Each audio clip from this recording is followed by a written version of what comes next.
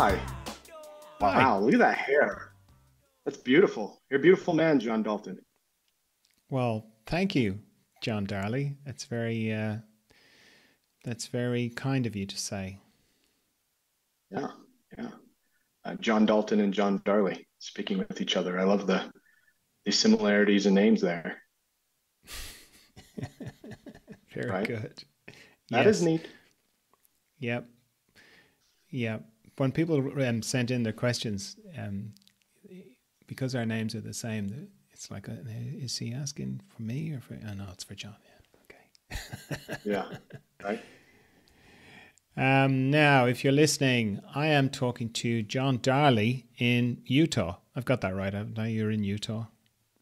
Yes, that's correct. American Fork, Utah. American American Fork. That's the name of the place, is it? Mm-hmm. Yeah. yeah. Okay. Yeah, we bought a we bought a home here last uh, spring, so this is this is where we're planted. Right. And what's American Fork is quite a distinctive name. Is there something behind that or?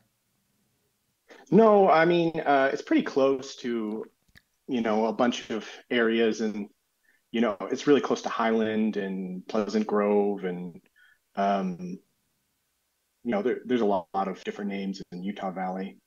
Uh, there's right. actually a lot of great, great artists in the area. I, I think I remember I, I remember listening to a interview with Mary Sawyer Sauer. I, I, yes. know, I can't remember exactly. I always mess Sauer, up her last yeah. name, but um, yeah, she's just a few miles away, and um, oh, okay, you know, there's a there's a sculptor down the street from me, Ben Hammond. He's really great, and uh, Howard Lyon. He's a he's a good artist, and his wife as well. And so there's a lot of artists around this area for whatever reason. You know, it's kind of kind of a fun place to be. Oh, good.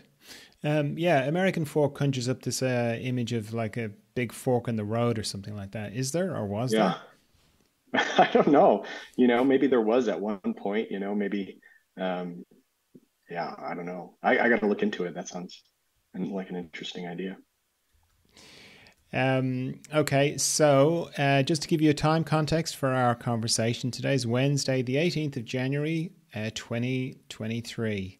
So we are already well into 2023.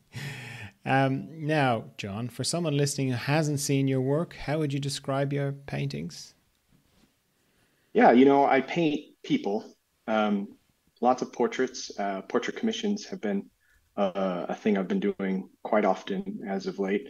Um, but uh, figurative work is my emphasis. I, I love painting people. Um, and I uh, when I and I'll, I'll oftentimes take the human subject and tell stories um, with uh, various paintings um, and even with commission work. Um, I'm diving into you know a, a psychological narrative when I'm painting an individual.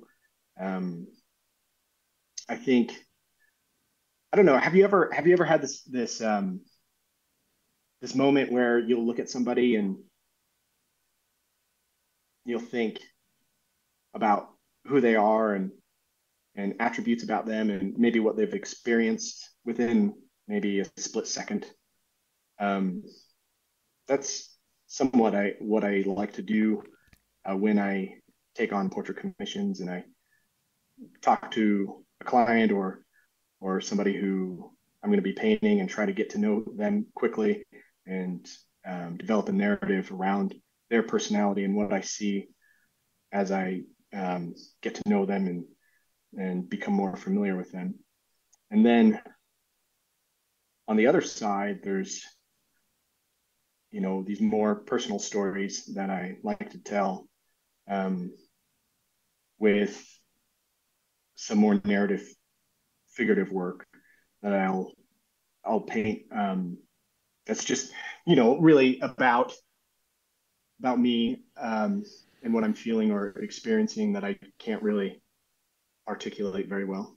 Um, so I guess to wrap that all up, I would say um, I paint people. um, and I I paint stories. Very good. People and stories and people's stories. yes. Yeah. Right. Yeah. Uh, just to put your sensibilities, your artistic sensibilities in context, who are your um, artistic heroes or influences? And are they all painters, or they, or does it spread spread out further than that? I mean, there's so many. Um, I mean, I, I, guess maybe some of the less less obvious ones would be um, Sergio Leone. Uh, you know, some of those Italian Western movies from the '60s and '70s. Yeah, um, I I absolutely love his work. Um, in particular, you know, when you watch some of his films, I love what he does with uh, his faces. His close-up face camera work is phenomenal. Um, you can get so much emotion and these micro indications of what these actors or, or characters in the story might be thinking and feeling. Um, and you get to see it real close and, and personal. I, I just love it. I just can't, I can't get over it. I mean, I'm probably one of the, you know, most commonly known films of his is, um, or at least one of my favorites is is the good, the bad, and the ugly. Have you have you seen that before? I have. Um, you know, I have that last scene where there's you know the standoff uh, between the three characters. Um, it's like, I mean, I think it's like 10 minutes of just close up face shots of these these guys, you know, uh, about to have a shootout over this dug up treasure, and um, the tension and the build up um, that he does with those face shots, I think, is just fantastic. Who are the actors again? Is Lee Van Cleef, Clint Eastwood, and Ernest Borgnine? You know, no, not I can't remember.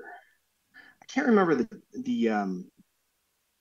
Oh, Lee Wallach, I think is his name, or Lee Wallach, oh. something like that. I think I think that's he's the third guy. Oh, was okay. I right about the the okay. first two? Clint Eastwood and, yes. and um, Lee Van Cleef. I believe so.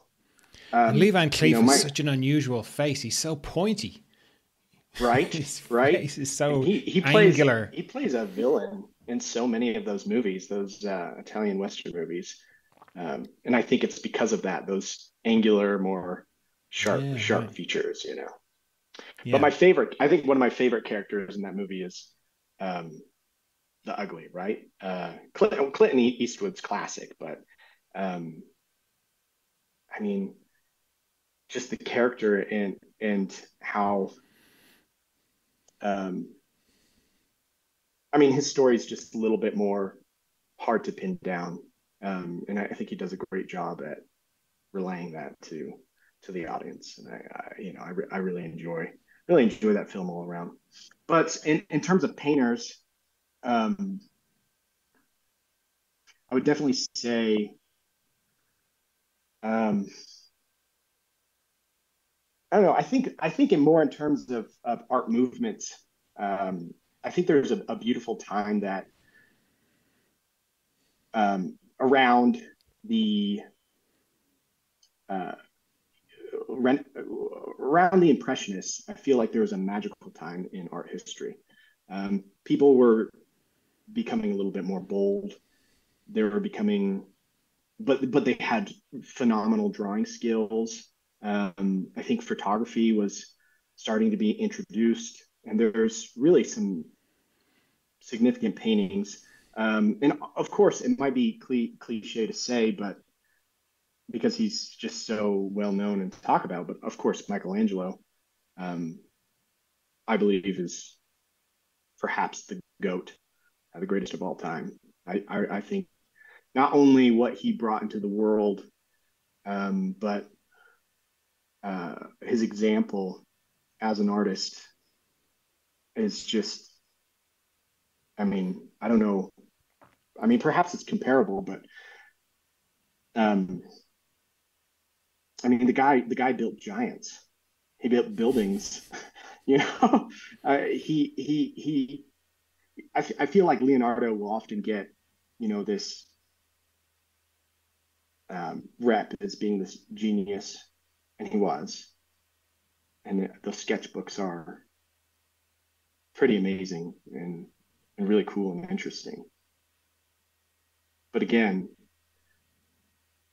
Michael Michelangelo he he built giants. you know, he was he was unbelievably interesting. For you know fortified Florence. Um, I mean, there's so many examples of his work ethic and his um, never-ending pursuit that I find incredibly uh, inspiring. Right. Anyone else now before I move on? well, yeah. Okay. So, uh, what about contemporary? Can we talk about contemporary? Yeah. Painters, people are. Um, uh, I would definitely have to add into the mix um, Odd Odd Nerdrum for sure. Um, All right. Yeah, and I have to add him into the mix just because when I when I look at his work,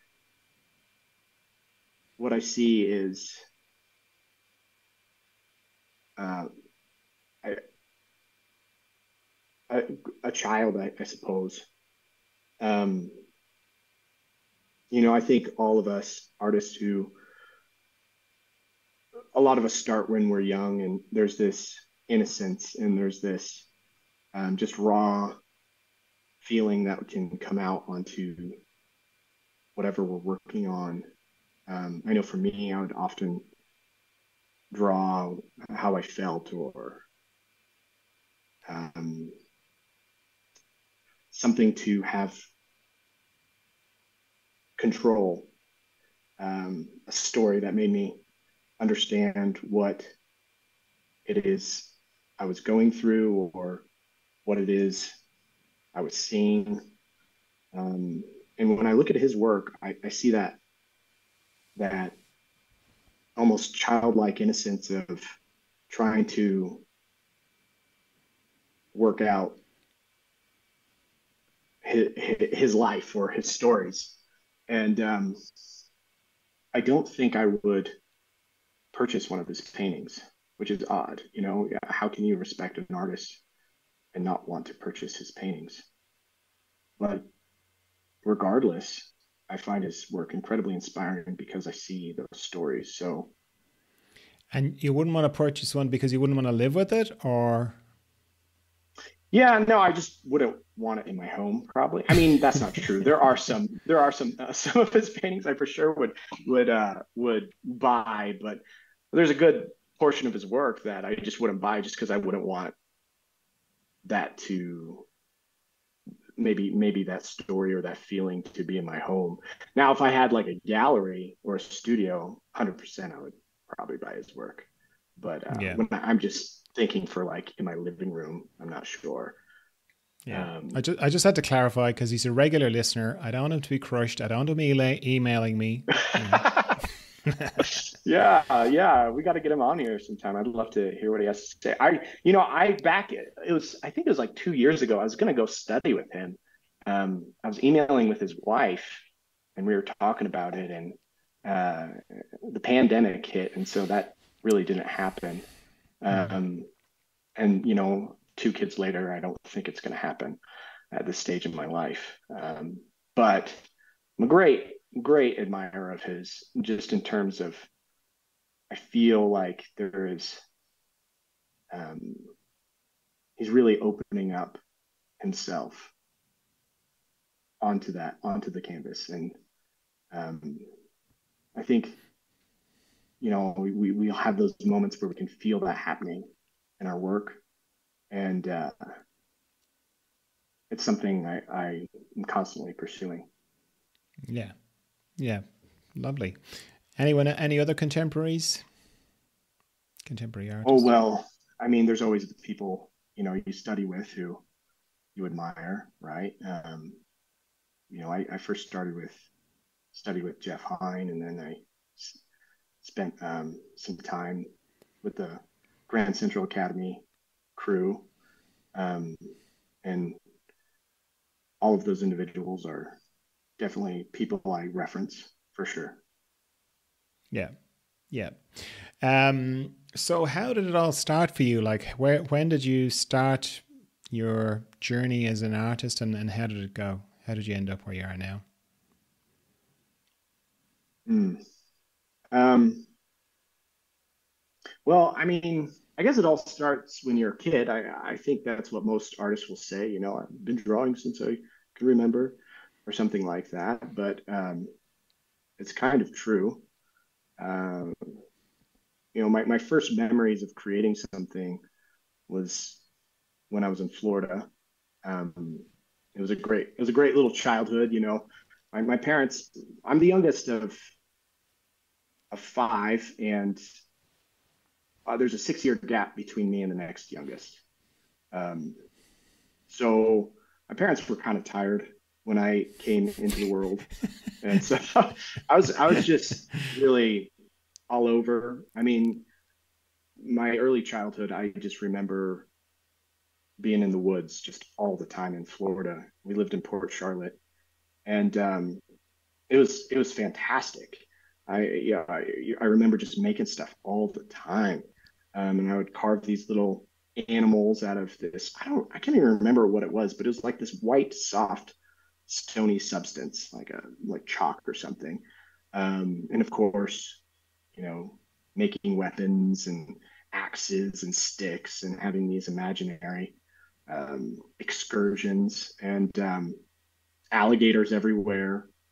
Uh, and and it was it was really a kind of a magical magical upbringing. But on top of that, um, my mom, who's also an artist, she uh, she was going to school at the time, and she I would watch what she was working on all the time, and she would, you know, really give me the encouragement and um, I suppose praise needed to keep me interested, engaged. And I, I remember I'd have all her art books that were available to me, and I would thumb through them. And um, I remember the first art book I I would go through was, I think it, it was the artist Michael Whelan, some sci-fi fantasy artist. I just remember lots of you know dragons and spaceships and stuff like that, and uh, it was so cool. These worlds that I was seeing, you know, being created by these people. I, I and I just couldn't understand how people could do that. You know, how can you how can you just create this? And it was the um, it was a sense of creation that I was just so hungry for and eager to know how that that can be done. Um, and uh, you know, after my family left Florida, you know, we we um, we kind of fell into some financial difficulties. You know, we was we were pretty broke. I mean, my parents are fantastic parents, and we just kind of had some bad luck, and uh, we ended up having to live with relatives for a few years. Move in, in when we moved to Utah, and um, it was pretty rough just because, you know, I was kind of school hopping. I went to five different elementary schools. Um, and that's, I mean, rough is relative. I can't say it's too rough. I mean, it was fine. I have a great family. My life's great. But, um, but when you do that, there's just some natural consequences where, you know, if you're new fairly frequently as a young kid, you're you know you have to figure out you have to navigate that um, yeah.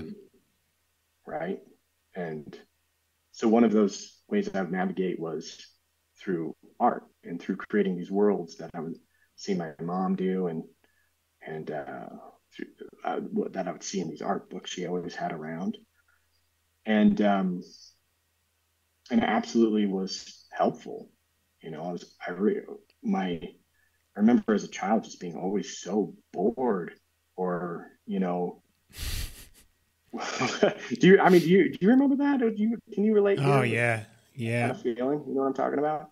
Yeah. Like you're like, oh gosh, like what am I to do? Um, and I was always transferring from, you know, going from school to school and moving and um, now they're now they're saying that being bored is really good for you.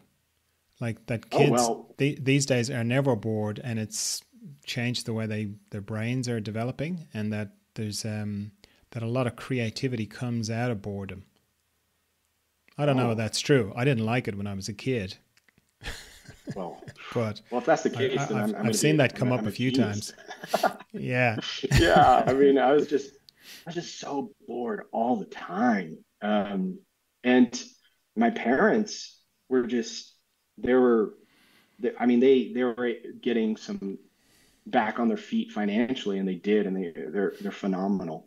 Um, they did such a great job, but they were. N- n- I was let I was pretty much kind of left on my own. Um, yeah. And so if I was bored, I had to figure out something to do. Um, and uh, also, you know, it was the one thing that you know people notice. You know, it was something. So you you, you kind of pursue the things you'll um, you're people can feel that you're excited about, you know, and, and people get interested as well, and you can get other people on board. And I remember I would, you know, I'd, I'd, be drawing at school, and some other people would come and draw with me, and we there's this cool little synergy that we would get going, and um, it was a great it was a great way to cope. Um, so, anyways, yeah, I, I did that, and I um, I did that through high school. Um, and I think I probably knew I was going to be an artist when I was about 11 or 12, though I didn't want to do it. Um, it's pretty, I wasn't, I wasn't ignorant even then uh, about the challenges that kind of life present. Um, and those challenges are very real, you know, I think maybe a lot of people from the outside look at artist life and you know, they're like, "Oh, that's so cool," but uh, it's not for it's not for the faint of heart, for sure. Um, and I, I could even feel that then. Also, to, to add to that as well, uh, when when we moved to Utah, my mom had a studio in downtown, um, in Salt Lake City. It was at the Guthrie. It was called the Guthrie Building, and uh, I just hated school so much, and so I would always pretend I was sick. I, I, think she probably knew, but I'd be like, oh man, you know, I'm sick, my stomach. Um, and so she'd take me to the studio and I'd see these projects that she was working on and she would um, she'd be working on these portrait commissions. I remember she's she did a bunch of um, state judges, um, doctors, of some kind of prominent families in the state. Um, matter of fact, I sometimes would would find her paintings in these buildings here and there. Uh, I remember, I think the second date I went on with my wife, we went to this piano recital, and I, I go into this big like piano hall, and I think it was at Utah State, and I I go in, and the first thing I see are these paintings that look kind of familiar. I'm like, hey, I look close. I'm like, oh my, my goodness, that's my that's my mom. Um, and so I grew up watching that and observing, mm-hmm. and um, that is a classy second date. Piano right, recital, right. and oh, look at these paintings of my mother made. oh, right. I think very so. good. Yeah. Uh, you know, I mean, we're married, so something worked, but, uh, but yeah, I mean, that was all part of the mix. Is um, was my my upbringing there, and and I tried to fight it for a long time. You know, I think I think when I went to college first, I went to like for accounting for maybe a, a year. It was the worst. Wow. I hated it. Yeah, it was. I don't know what I was what I was thinking. I, you know, once we once you get to like, I was I was lost pretty early on. Once we got to like FIFO, LIFO, and average or whatever it was, I was like, oh man, I'm I'm gone. You know. um, and uh, but And were your parents? Did, sorry, did you did you because your mother was an artist? She, like you, would have known like the very real, you know, what what was involved. Did your parents encourage you uh, towards art or not? Hmm. You know, I definitely say they encouraged me, but it it also was a little bit of, you know, if you're successful, it's on you. If you fail, it's on you. Kind of feeling and mentality. Um, yeah, right. You know, your your failures and successfuls are your own.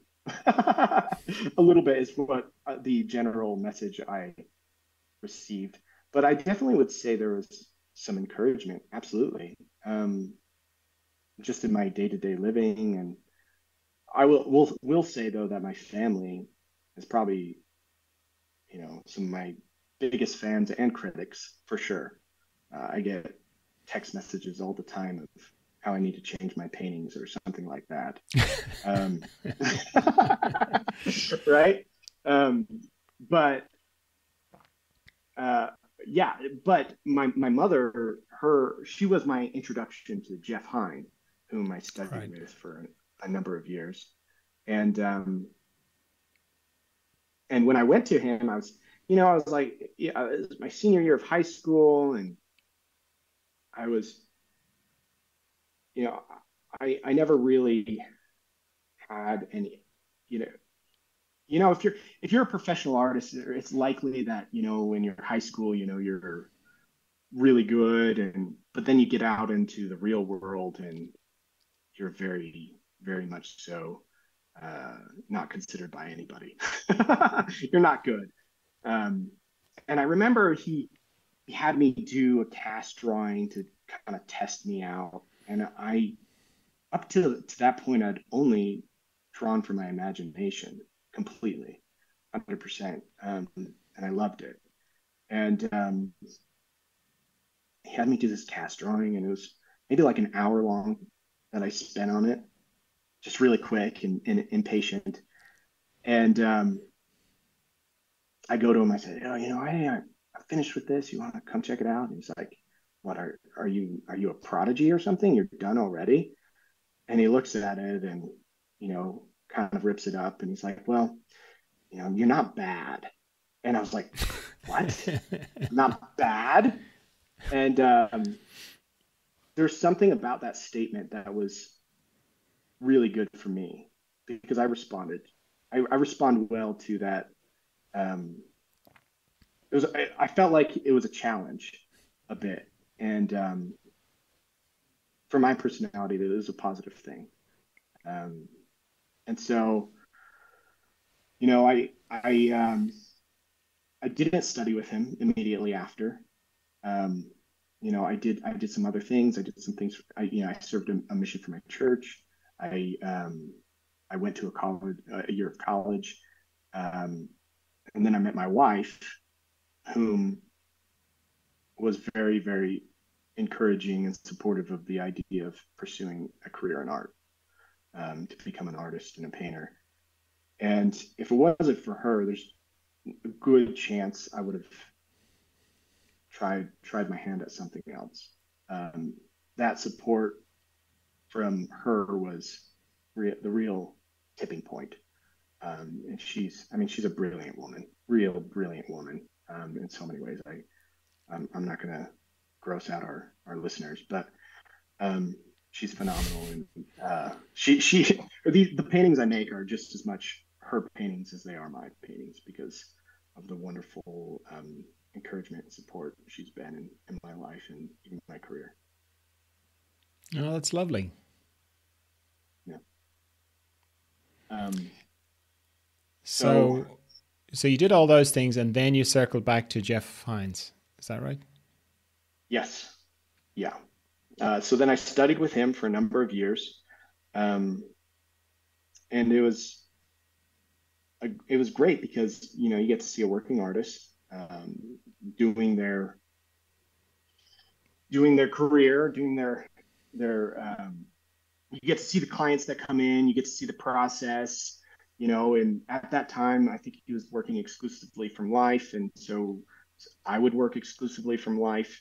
Um, and you know, I'd see the models come in, I'd see the collectors come in, and um, you know, you get a feel for the industry and then the and for the world. And um, you know, I don't think you really get that in art school very often. You know, maybe you'll learn how how to talk about art or how to draw, um, but the actual on the ground experience, I think, was incredibly valuable. Right, and he had a interesting method where it was, you know, you try an assignment or you have you have a certain aptitude you have to demonstrate.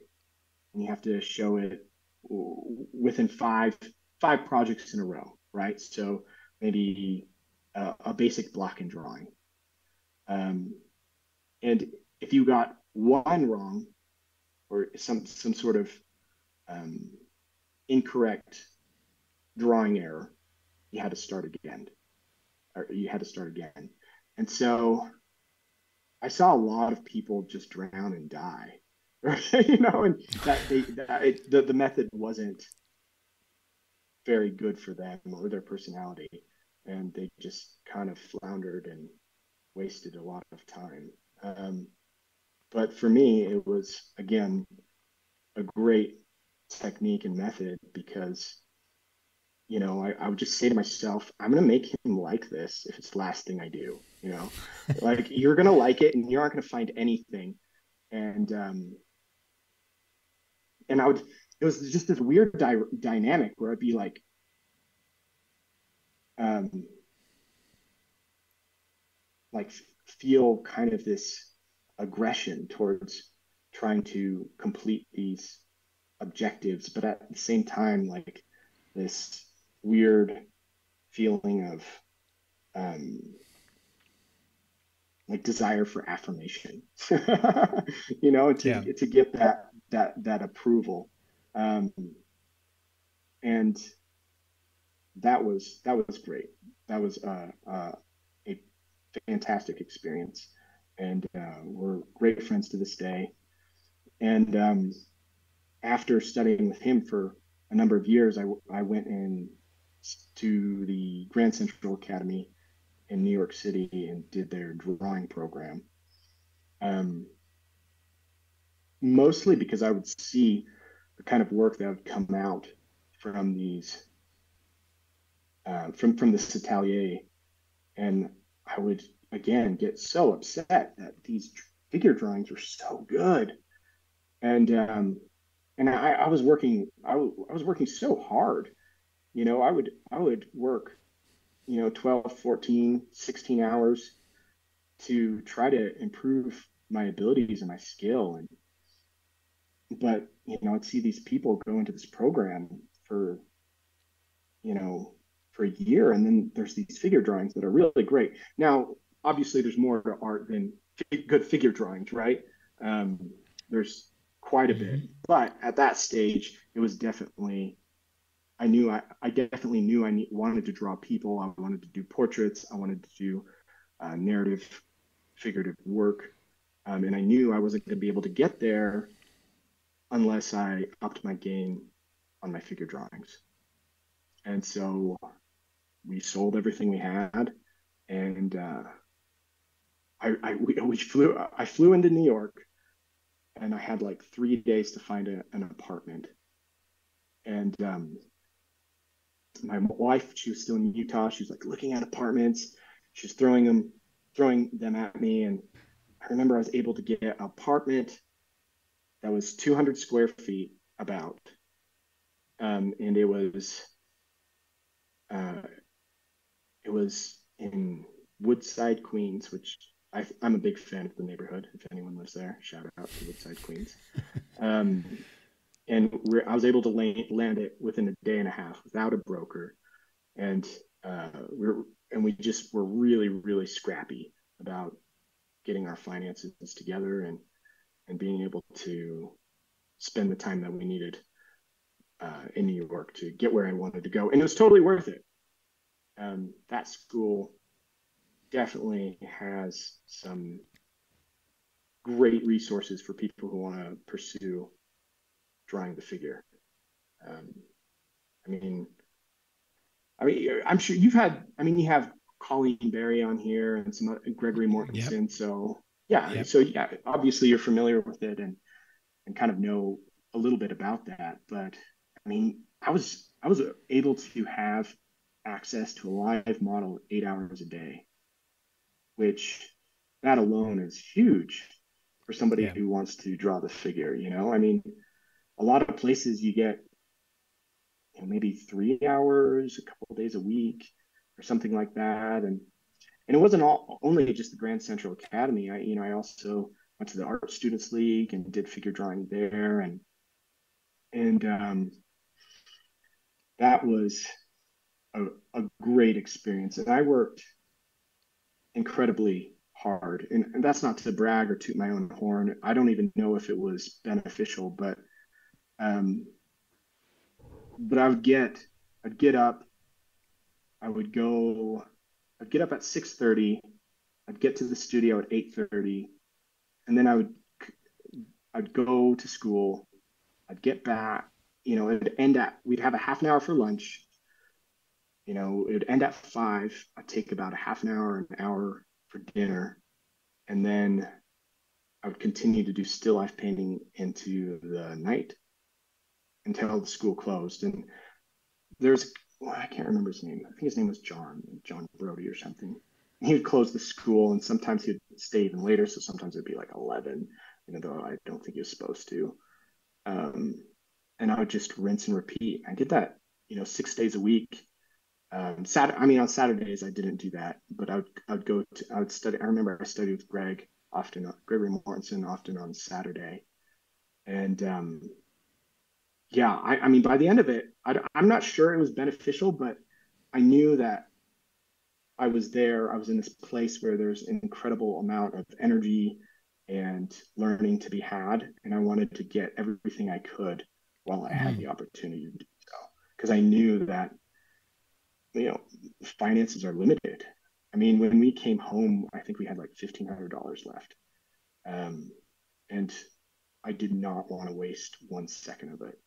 And yeah. so um, I just collected as much information as I could. I started getting kind of like I don't know what it was, but I started having this weird stuff started happening with my body by the end of it, you know, I remember my hands would go numb and I would have these weird things with my face happen where my face would start getting numb.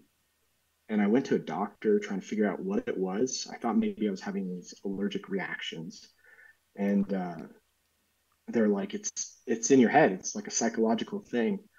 And it's so weird because I wasn't like stressed out or freaking out or anything. I was just um, I think my body was saying, like, telling me that I needed to kind of slow down and rest or something like that. Yeah, but right. It, it, you know, have you ever had something like that happen? You know, you push yourself, and then there's like these physical manifestations. Uh, not that extreme, but I I certainly know when I'm when I'm tired or when I need when I haven't had enough sleep. I definitely yeah. know that. Yeah, and on top of that, I gained a ton of weight. You know, I, I think I I had to have put on like maybe maybe 25 pounds or something like that. Um, which is weird because you think New York, you're all you're walking around and such, but I think um, I think I was I was pushing it a bit. It took took some time for my body to kind of, you know, uh, regenerate. yeah. How long were you there for altogether? One year. And that One was a big, intense big, year. Big reason why I was hitting it as hard as I could. And I mean, I think when I interviewed with Jacob or Justine, I think I told them I might want to because they they they broke they broke up the program where it's like one year for drawing and one year for painting and then if you want, you can do two more years of um, just working on portfolio work. Uh, I don't know if they've changed it, but that's how it was when I went there.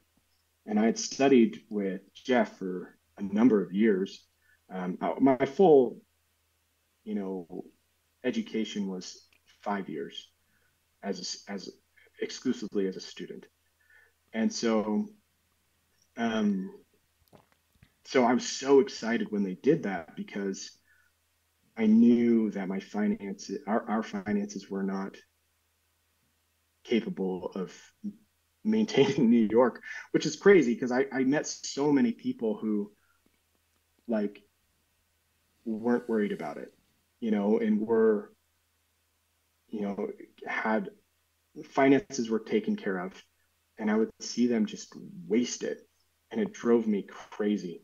You know, I was like, you guys, you have no idea how valuable this is. And you're just being casual.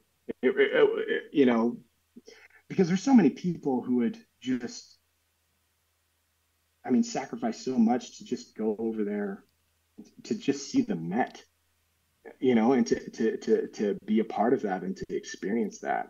And, um, and Utah is, has a abnormal amount of really talented artists, in my opinion. But I would not say that there is an abnormal amount of, you know, huge museums you can go to.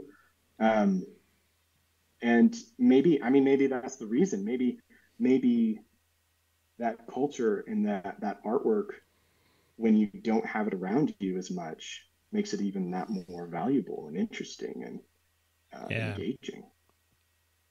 So, I mean, that's a, that's a thought. That's an idea. Maybe maybe these more agrarian societies are, you know, experience you know, seeing the David, and uh, maybe that impact is, I don't know. That's just speculating. But um, needless to say, we finished that year.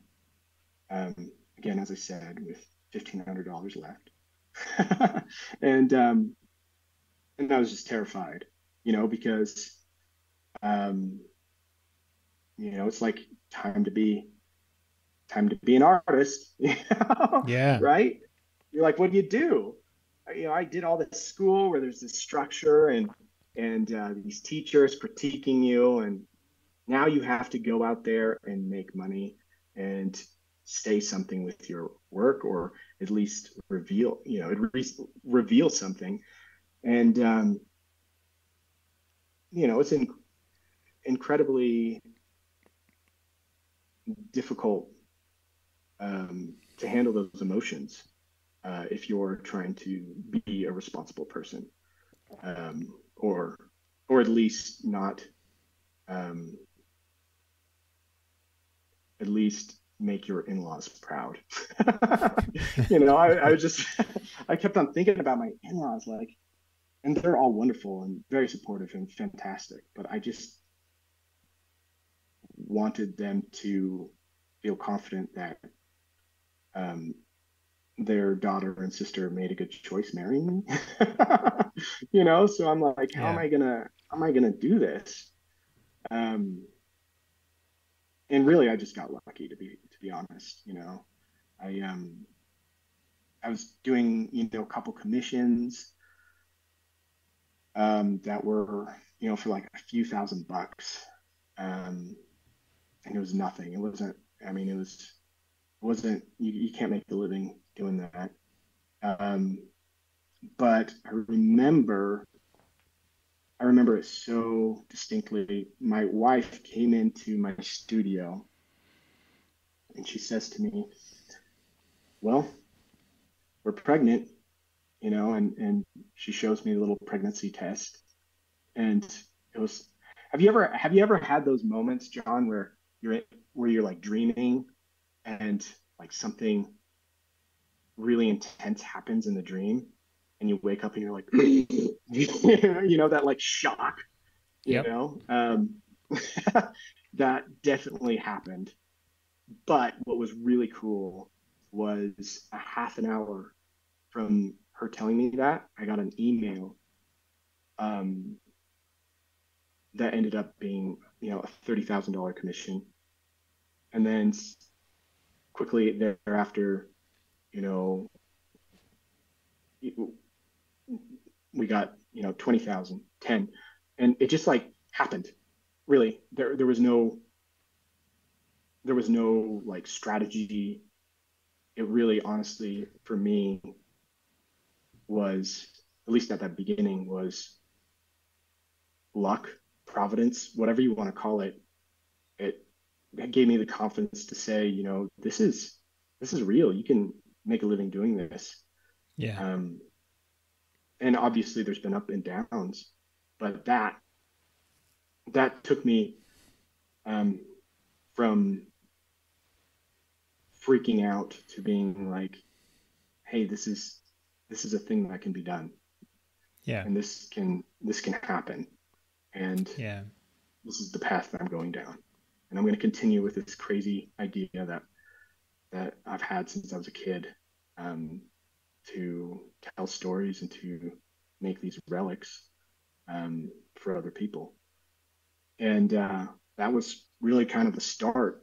Um, and uh, five years later, we're here in American Fork, bought our first home in spring, and uh, I renovated the garage for my studio and plan on expanding it when we can afford to do so. And that's that's where I am.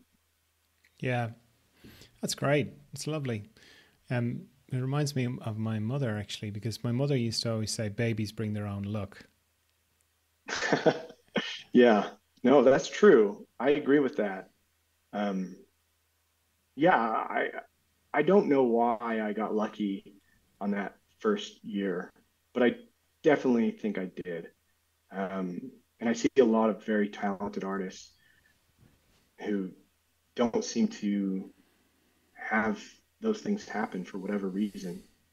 Um, and I don't know what to say to that other than I'm just grateful. And and if you do if you do have those let's call them lucky or lucky moments, or let's say let's say you're one of the you know one of these people in New York who can uh, have their um, you have a sweet trust fund or something like that. Um, I think I think it's really important to show gratitude by being being your best and doing everything you can um, to to show appreciation for either those who sacrificed for you or you know whatever might have fallen in your lap um, you know you, you, you can't you can't let it go to waste yeah i mean it's just a great thing to do anyway for yourself is right? to be great, to be to be grateful you know it's just so yeah. it really oils the wheels of life when you're grateful right. for breathing your body sunshine and lucky wonderful lucky serendipitous things like you said but um the more grateful i am the more grateful i am. Right? Yeah. Well i'm grateful for you john. I'm grateful, well, I'm grateful uh, for you, uh, John, your, as well. For your podcast, for your show.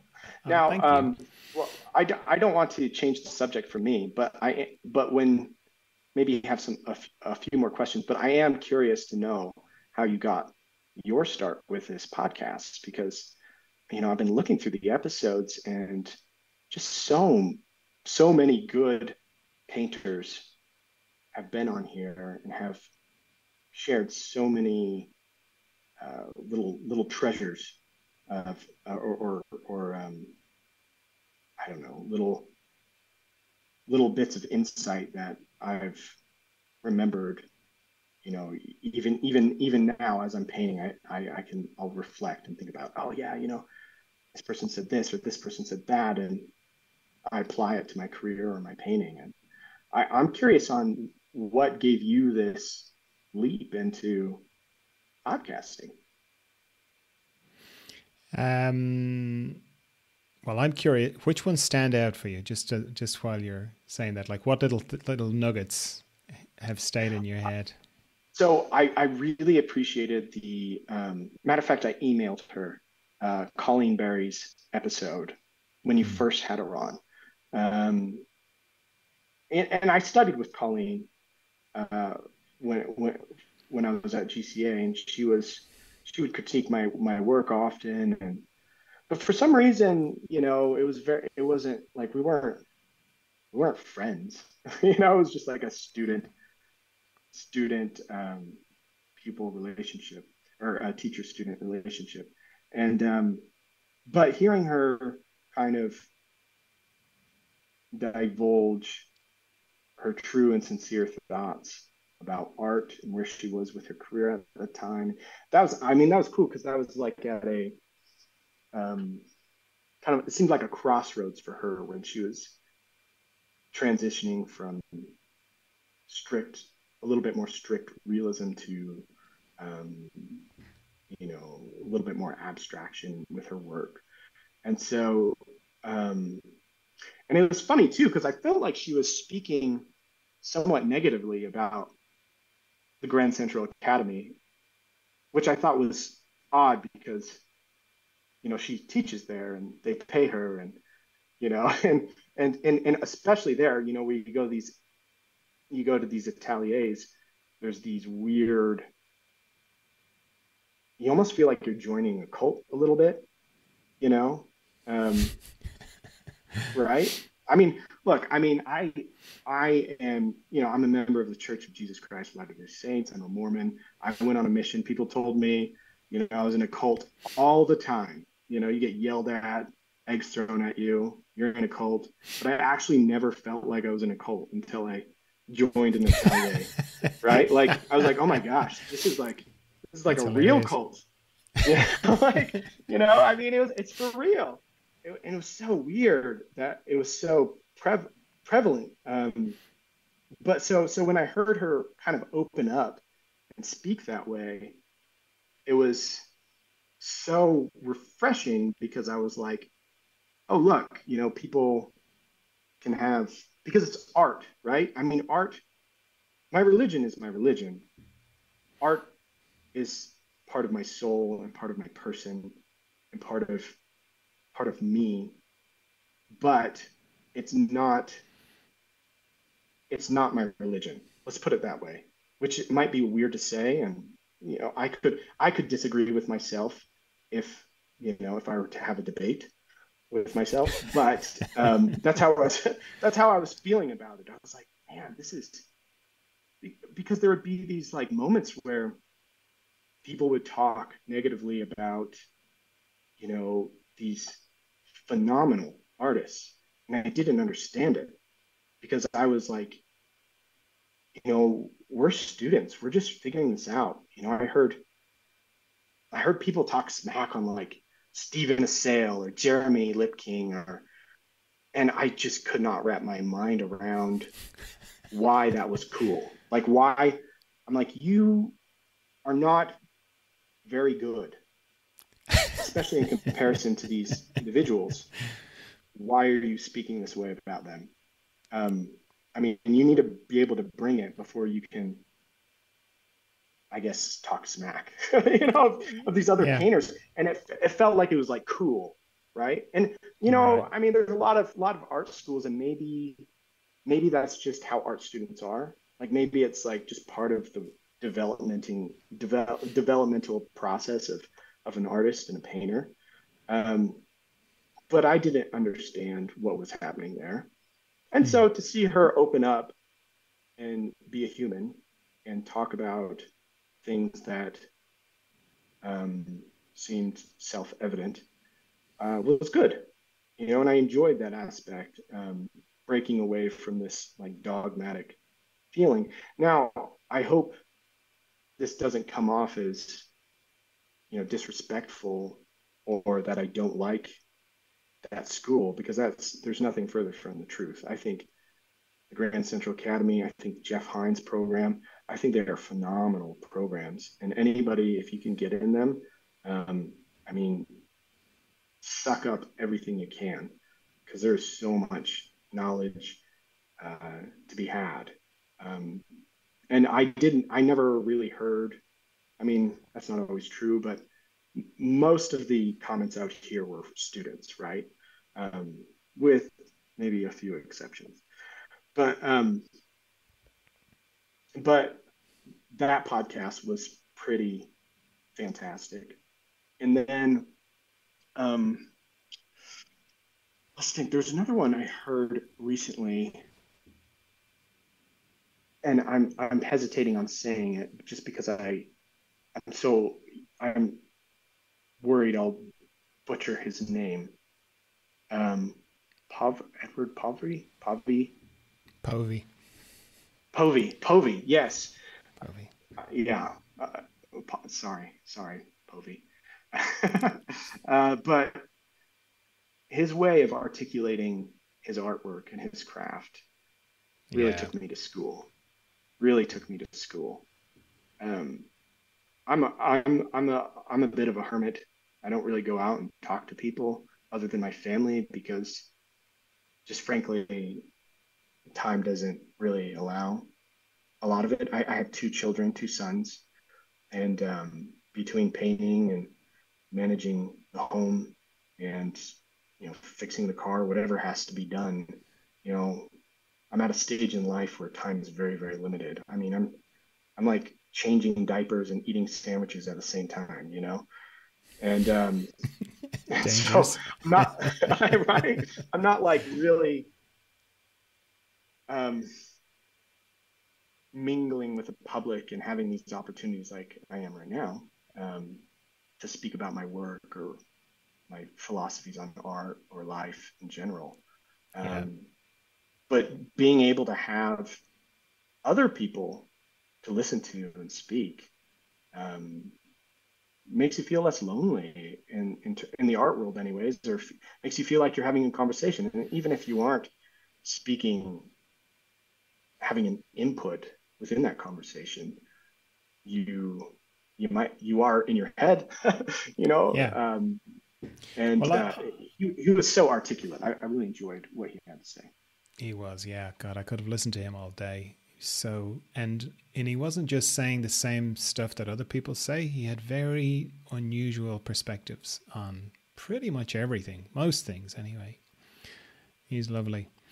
Um it's it's nice to hear you say that because i'm very conscious of the third person in the conversation um like i never think of an audience you know because i don't think audiences it's not how podcasts work. There's only ever three, like in in an interview kind of a podcast. There's only ever three people involved. There's me, there's you, and then there's the third person, the person who's listening. So they're like the silent person, uh, but they're I'm very conscious of them in in the conversation. Uh, so it's nice that you felt like that you were part of the conversation because that's certainly something I aim for. Um, it's it, the this is my second podcast. I started podcasting when podcasting happened first, which would have been in 2006, and it was it was to, it was uh, in conjunction with the book I'd written at the time, which is called "Why Do We Get Sick? Why Do We Get Better?" It's available on Amazon if you're listening, um, and that podcast was as podcasting was just blowing up at the time and it was like, yeah, I'll do a podcast. And I, I, I did some videos and whatever. But then podcasting died, and I kind of went, yeah, okay, well, it was that was fun for a while, but and it just kind of faded away. And then I was um, I'd written another book called May and Noise, available on Amazon, and it's an audio version of it as well. Um, if you're listening, you want to go and listen to that. Um, and I I thought um, yeah, I think I'll do a podcast with that. Um, just to kind of talk a little bit more about some of the things that I talked about in that in that book, and the um, my website was you know it's johndalton.me, and when you set up a WordPress website, they, they give you the option of having a subtitle. So um, I thought, okay, and that's when I put in the gently does it because I kind of thought it was kind of funny and descriptive uh, because I think being gentle in the world is a good thing. So, um, the when I started the podcast, which was very low key, uh, you know, I just it just naturally went through that website. Um, and the first 12 episodes were ju- are just me talking. I, I videoed them as well, so they're on YouTube as well. And then I didn't do anything for about I don't know, four or five months. I didn't have any episodes, but I was in the studio myself and I was listening to people. I was listening to podcasts and there were interviews. And I thought, yeah, that sounds like fun. That sounds like something that would be good to do. And initially, I thought, well, the three things that I'm interested in are, you know, consciousness, reality, spirituality, that sort of things, um, natural health, and art. So those are the people I'll reach out to. Those those three kind of areas.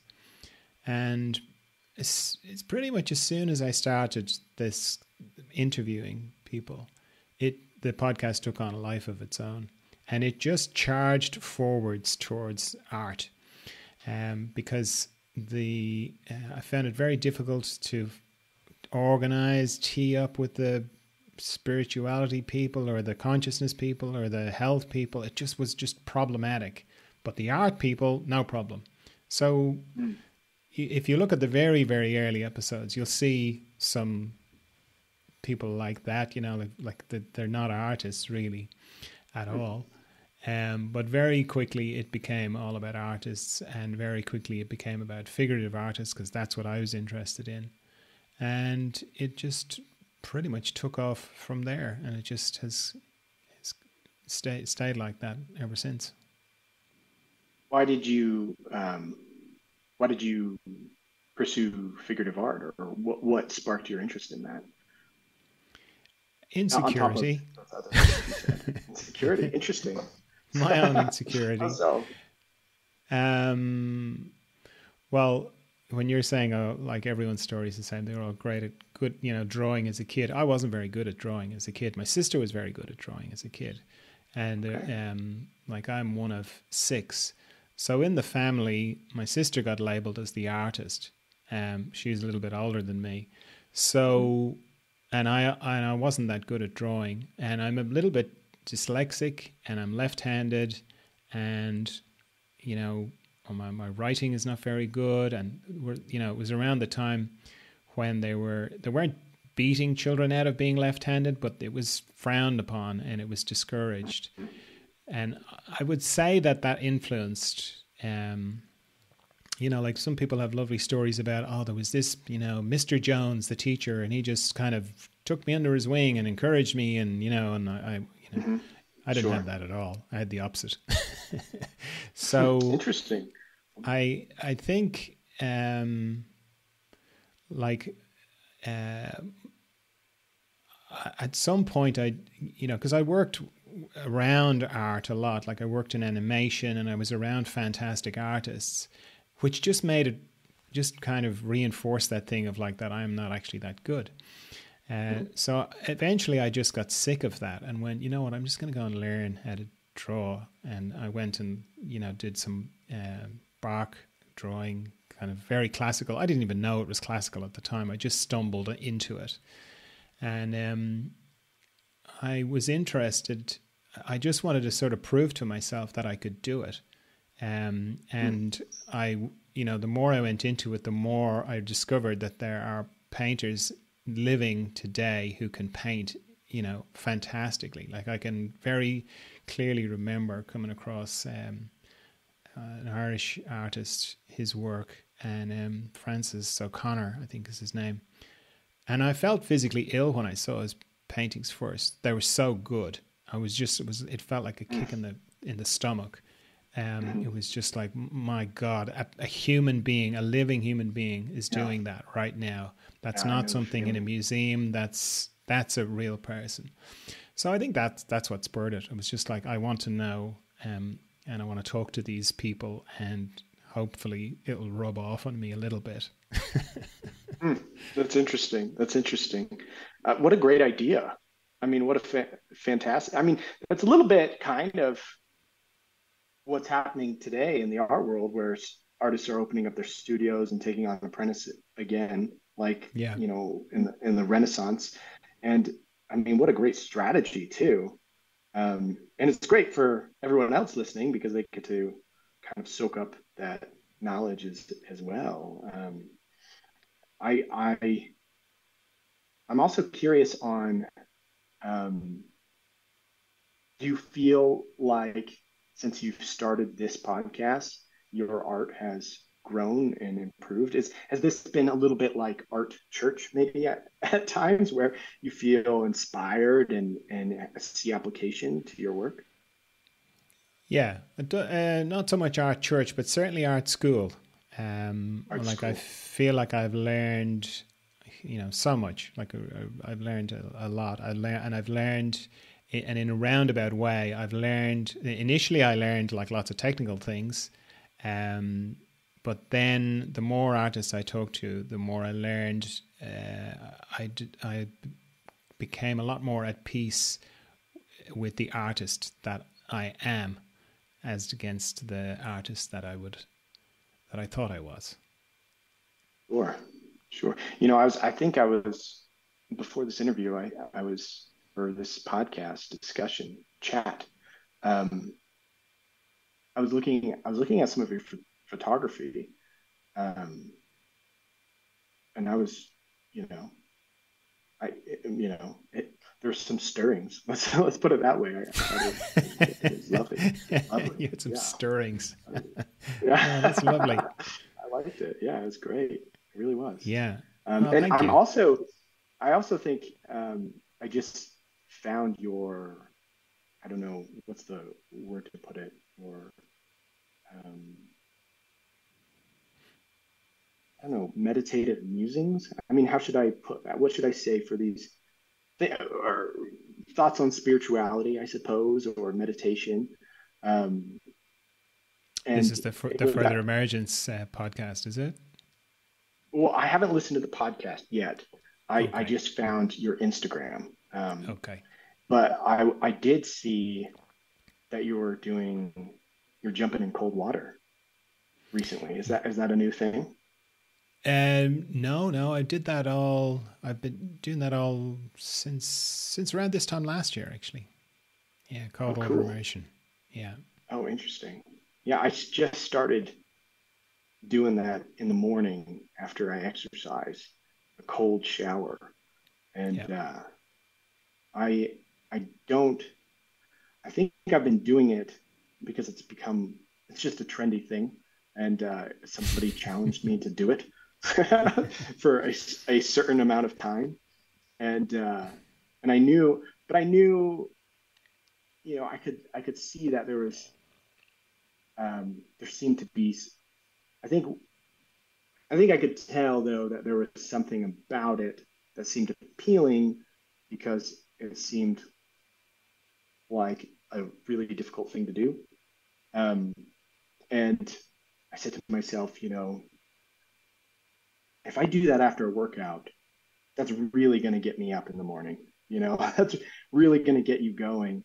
And that's been my experience so far is that, um, you know, maybe, I mean, you can throw out the coffee and, and uh, just take a cold shower and you're going to be, you're going to be up and ready to go real quick. You're going to you be know? wide awake. yeah, that's right. Yeah, it's, oh, it's been fun. I, I, did one this morning and I was, I was uh, thinking, well, at least I'm not in the whole lake like John Dalton. Yeah, yeah, it's a river. A river. We have a, there's a river on the property here, so it's great. That's awesome.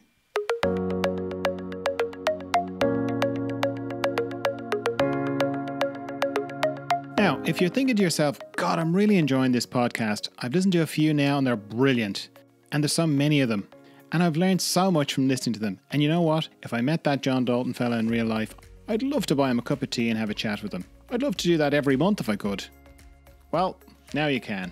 The tea part, at least, because this podcast runs on cups of tea bought for me by people like you who listen to the podcast and send me the price of a cup of tea once a month through the Patreon account. That's patreon.com forward slash John Dalton gently does it. All one word. And if you're one of those people who already send me cups of tea through Patreon, thanks a million. The tea is lovely and I really appreciate it. Now, the great thing is that if you can't afford to send me the price of a cup of tea or you don't want to, that's fine. You still get exactly the same podcast for free. It's sort of an honor system where the people who can afford it and want to pay for the people who can't or don't want to. So it's all lovely. So if you'd like to send me a cup of tea once a month, you can do that through Patreon. I'd really appreciate it. It makes a huge difference to me. So, getting back to your paintings, how does the idea for a painting start for you? Um, like, how do you grasp those wispy bits of inspiration? Do you make little sketches? Are you a sketchbook person? Do you write things? Are you more written? Voice memos, thumbnails? What what kind of thing? How do you record your ideas? Well, usually it's while I'm painting that I come up with ideas for paintings. Um, and I do everything you just mentioned, I do um, in not any particular um, routine fashion. But if I have a certain thing that I want to capture, yeah, I'll have a little text thread with myself and I'll throw it into that. Um, and then usually late at night when things are kind of calming down and I put the kid, we put the kids to bed and kind of winding down, I'll, I'll do little sketches um, and just look at the design of what I want to do. And it really does depend on the project. Um, you know, if it's a commissioned project, usually a portrait, um, I it, it's a different process than it is for a non-commissioned project.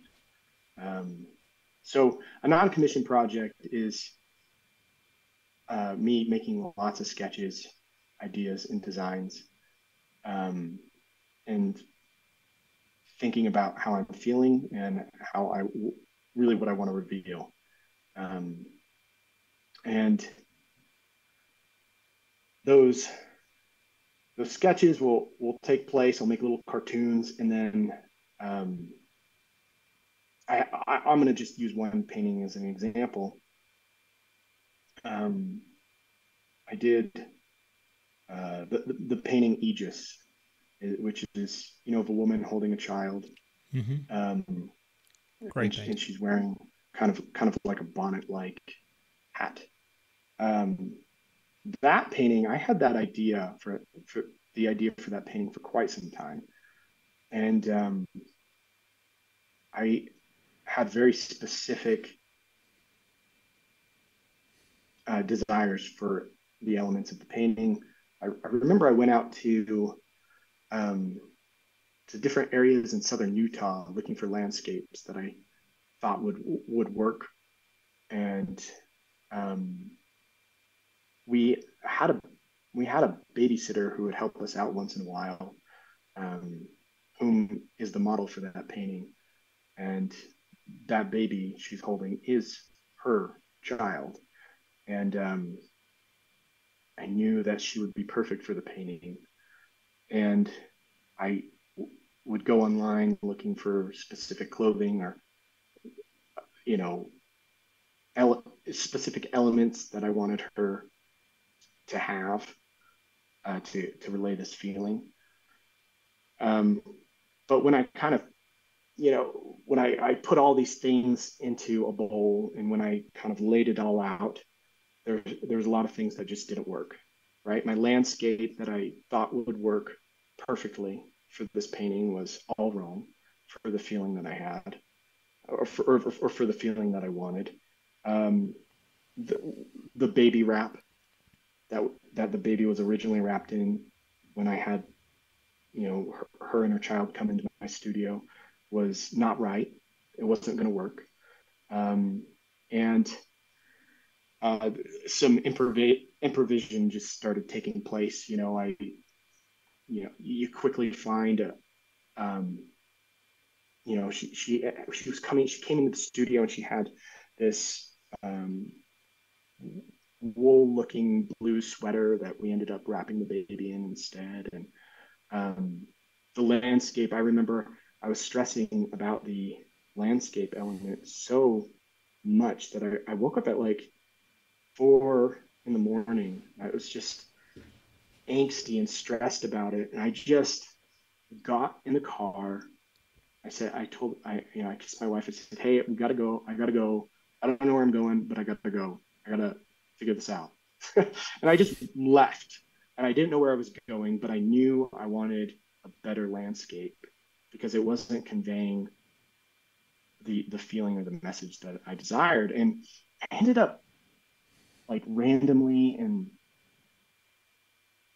like just before you leave civilization in or um, a lot of more prominent towns in Utah Valley. Was like uh, around Nephi or Santaquin or something like that.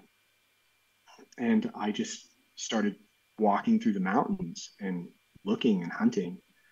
And um, I found this perfect area where it was right on these outskirts of where people were developing homes and and then just tons of farms and nothing. And um, I saw this land being developed where there's new homes being built because for whatever reason, you know, it seems like the world is just starting to move here and home prices were shooting up and there's not enough houses for everybody because so many people are moving here and populations growing so much. Um, but I loved these elements of homes being developed. And there's these telephone poles that I thought were just fantastic um, for the message that I, I, wanted to relay and utilize. And, um, and it worked perfectly in terms of the color and how I wanted it to, to, to feel. So there was the initial um, just idea in your head, right? And a sketch. I did like a cartoon. And I worked with that composition for a while. Um, I think I originally wanted it to be uh, square. It wasn't till it didn't all click until I put it in a circle format um, that I was like, this is this is this is good. This is this is what what I want. Um, and so, yeah, there's the initial idea. There's the sketches. There's the collection of information through photographs, through models, um, through props, um, and then the improvisation. You know, you, you improvise and it's probably you're probably likely going to need to improvise. I don't think there's been any painting I've done where my original idea was exactly what I did or went with, uh, because the painting yeah. calls for different elements, and and you have to obey that and pay attention to it. I've had plenty of paintings where I've tried to force them, and um, it, it just it doesn't turn out that great. Now, in terms of commission work, it's a different game in that I'm considering the individual and person and what I know about them and tailoring a piece to a family or an individual. And, um, and so, so I take those elements into account as opposed to um, maybe a, a, a painting that I'm trying to reveal my own personal stories or emotions. Yeah. Yeah. And is it always from life or do you take photos of your live sessions or what's how do you work that way yeah i mean if i if you can work from life or if i can work from life at, you know i'm going to do it um, I, I, I haven't had any person who's commissioned me um, be willing to come in and sit well that's not true i did have one and they tried and then they bailed. They're like, you know, I got stuff to do. So photographs for that. And if it's still life, absolutely. I don't understand why anyone would use photographs for still lifes because they aren't going anywhere. I mean, maybe there's some circumstances where it'd be helpful, but um, you can work from life, work from life.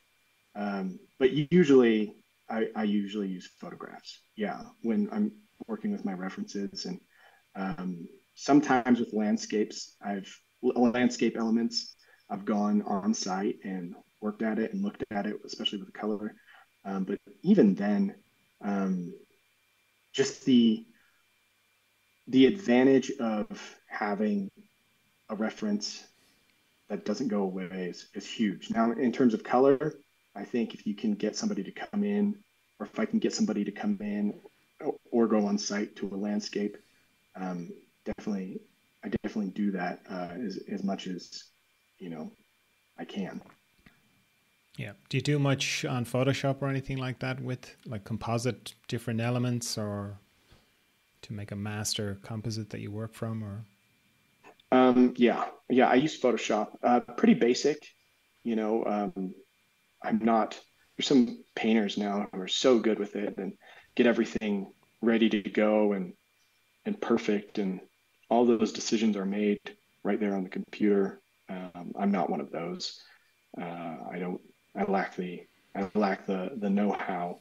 Uh, I worked exclusively from life um, as you know for five years as a student, and you know Photoshop 101 was not part of my training. So I've really just had to figure it out and work with it to accomplish the goal of um, you know saying what I want to say.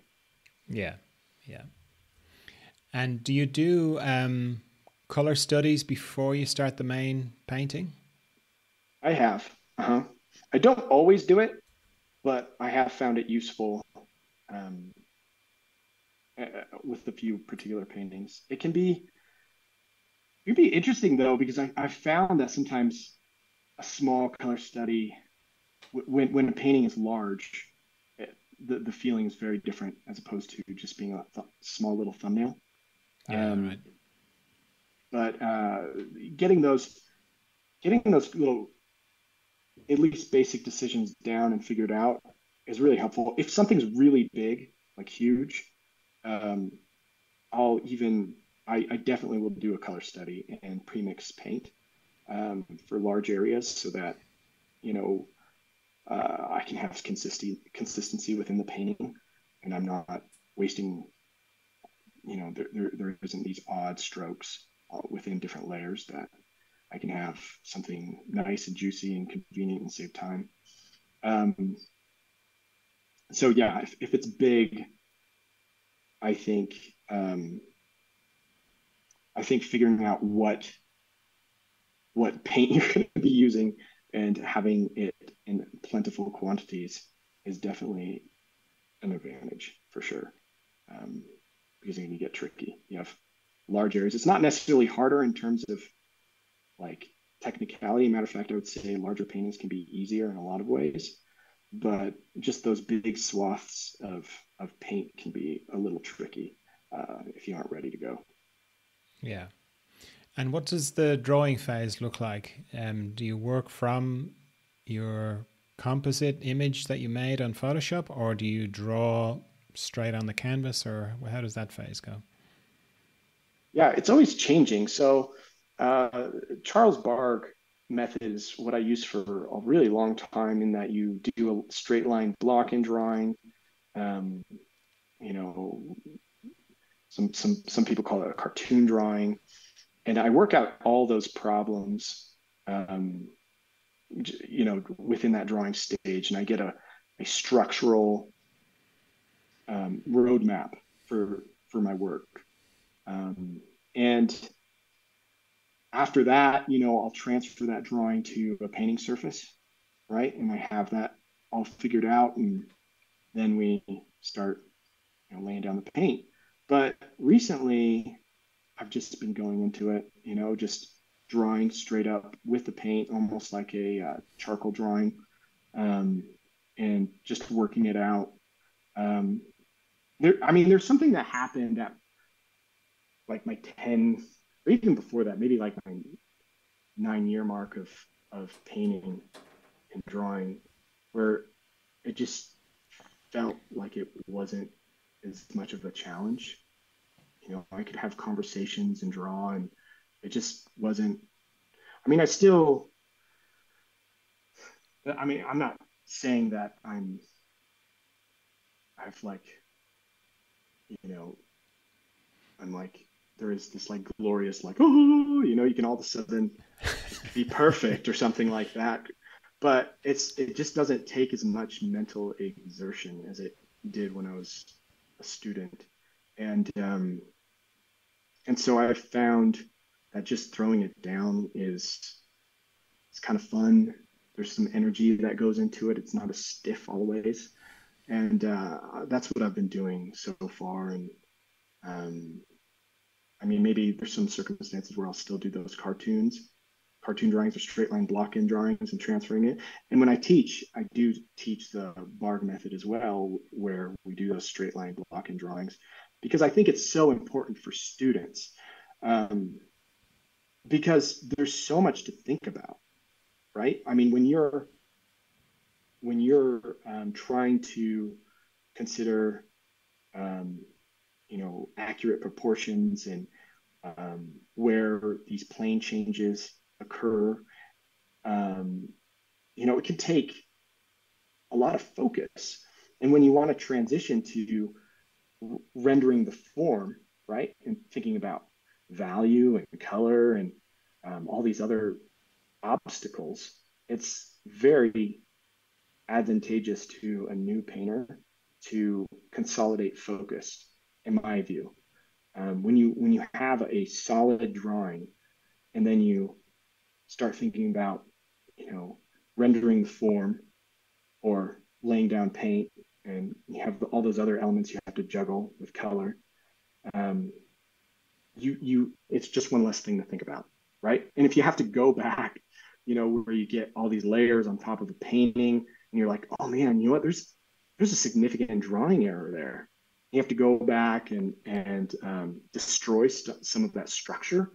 It can be sometimes detrimental, where it will start feeling, you know, I, I'll, you can always tell kind of more amateur paintings because they'll they'll feel a little bit more Gumby-ish, like they don't have structure to them.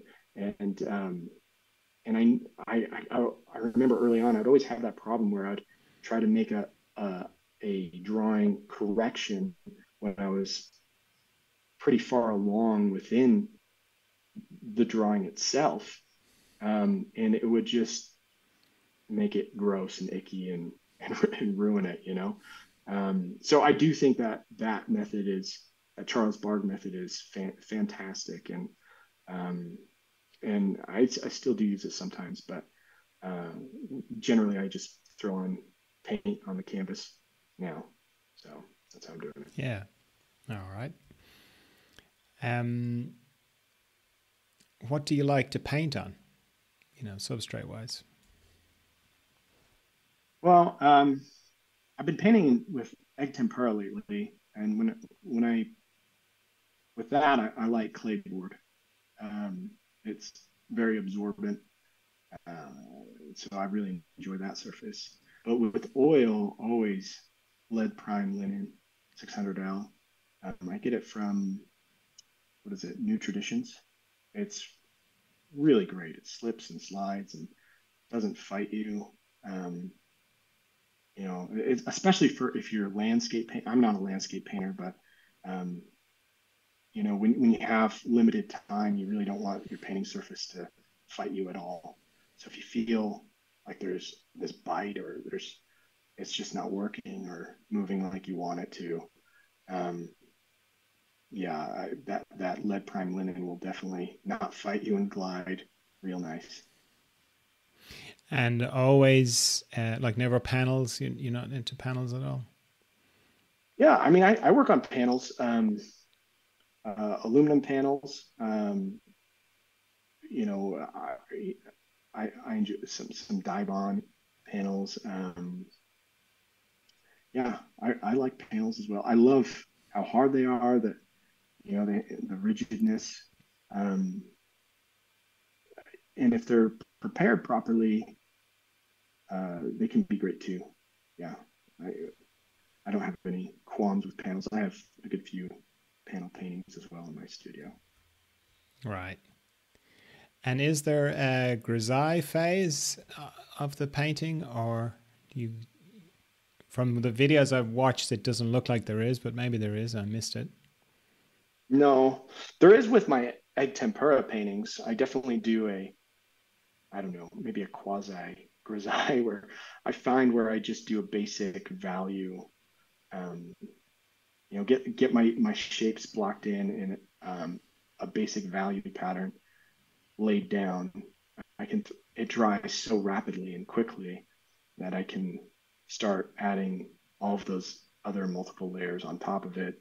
Um, and you know, I find that seems to be appealing to me. But as for my oil paintings, no, no, no grisaille. I just go right into it all. it depends on, on the, the time period, but I used to just do my line drawing, transfer that line drawing, and then just paint right into it, start doing tiling. Um, and that that line drawing is really great though, for for those roadmap situations, not only for painting on, but um, but for your mind. You know, this is a little bit of a deviation from your question, but I just wanted to get back onto that line drawing topic because um, because I think uh, I mean there's I think it, within the realism world there's there's a lot of you know people who project um, their paintings and and just trace the, the those projections and um, paint on top of it. Um, and I mean, look, I I'm I'm no like dogmatic purist, but I don't find that as effective because the um, because of that that drawing phase is not only giving you like a blueprint of what your painting is going to be, but it gives you a psychological blueprint in your head that's incredibly beneficial once you get into the painting process. Um, and uh, you know, I've I've had this I've had circumstances before where I've been critiquing somebody's line drawing or, or, or somebody who just finished their line drawing and and going into it and it's sometimes difficult because I didn't really have all the thought behind why they made the decisions they made or what they were considering right? And so that that process of discovery within the drawing phase is um, is really important. Whether i mean I, I suppose it doesn't matter whether it's a line drawing or you're just going down and painting directly onto the canvas you know you're doing big bold marks but um, but I, I do find that that beginning stage to be probably the most important in any painting I do. So, how do you do your transfer process then? So, what I'll do is I'll do a um, an oil transfer where I'll just take my my drawing um, and I will put it on the back of or excuse me, I'll, I'll, I'll put paint on the back of my drawing and I'll attach it to the to my linen surface and I'll go over my drawing with a pen where and that pushes the paint onto that linen surface causing there to be marks and you'll know where your drawing is. So you're you're essentially tracing your drawing. Now um, so it's one might say oh you're you're just tracing but again it's that point of your the thought behind that block and drawing is where the money is, right? You've you've you've considered it, you've discovered it, you know you know what's going to happen, and kind of you've taken a uh, you, you've scoped out the land and, and you, are considering your battle plan, right? Um, and so, and so, so yeah, so that oil transfer is how I do it. Now, um, you can even, you know, take it you can even blow it up if you want to. Um, I've I, I've projected a drawing I've done smaller um, to a larger drawing for a charcoal drawing once, but I found I found that to be a little bit risky, even though it's it's your own drawing, right? And you're just you know putting your your drawing there. You've made that discovery. There there can be still be some distortion within that method. So as long as I, I, think the, the, the safest method is to have a direct um, paper transfer, pa- paper to, to linen or, or panel or whatever you're drawing on um, uh, surface and, and go over it with, and you can, there's lots of ways to transfer. You can use charcoal, oil paint, whatever, um, but you, you put it on the back of the surface of, of your drawing, go over it with a pen, and your drawing's there. Um, if people are curious about it, you can always just look it up on YouTube, you know, Re- Renaissance transfer method or, or something like that. Yeah. Um, Julie Hightower Ryle on Instagram says, "How many layers of paint and or glaze scumbles uh, do you typically do for a painting, and how long do they usually take?" Uh, I would say there's initially two layers, right, and then and then I would say there's a there's accents after I do those two, layers, um, where I'll use um, small bits of paint to just give accents and pop to to my painting, and I'll use maybe some pointillism in, in certain sections. or you know dashes um, here and there to uh, give that final pop. Yeah. So um, just again from looking at the your um, time lapses on your Instagram, um, you, it seems kind of alla prima the way you work to me. Is it, or are you kind of consciously thinking in terms of glazes? Um, I do not think in terms of glazes. Uh, I just kind of go for it. Um, I do. Uh, let's think. I do do lots of glazes on larger paintings. For whatever reason, it seems more um, it seems more advantageous. Glazes are really cool. Just or, or paint or I do I'll do a lot of glazes on paintings I haven't planned out very well. Let's put it that way. right? Um, I just find that I keep on wanting to to change uh, the tint of, of what I'm working on, and and glazes can really be like almost Instagram filters, right? I mean, uh, you can unify a whole painting with a, glaze if you if you need to um, or you know you need to make it darker. You'll lose a little bit of form when you glaze your work, but um, sometimes it can be worth it, and you go back and recover the form if you have to. Um, but yeah, not not a ton, but I do, um, and it seems like I do often on paintings I don't plan very well. yeah, yeah. Your paintings remind me of the way Scott Waddell paints. You know, it sort of starts in one, like an eye or a nose, and it seems to just grow fully formed out of that uh, part. You know, is yeah, um, yeah. I mean, he, I mean, he. I think he even taught at the GCA. Um, yeah, the idea is craw- crawling across the form, right? We're just um, we're we're consolidate. It's again that idea of consolidating focus, right? Um, you, there's there's an incredible amount of power that you can have when you um, narrow your vision and your focus, and you can get a ton of form out of a painting and out of your your subject as you just narrow in the laser. Um, and there can be some disadvantages for sure uh, and there can be different schools of thoughts in, in, in some respects. But um, if you want to really uh, just nail form, I think consolidating your focus and having that laser can be a great way to go. Yeah. Yeah. Uh, Evan Thomas Lilly on Instagram. Sa- oh, actually, you didn't answer the thing about how long they take. Julie's question about how long do your paintings take? Oh yeah, so like a basic small portrait, usually I'll work on over the course of a week. Uh, that um, that painting Aegis that I was talking about earlier, that, mm-hmm. where I was collecting that, that was about um, six weeks. Uh, I do lots of paintings all at once. I have two six foot paintings I'm working on right now, um, a few medium sized paintings, some small paintings.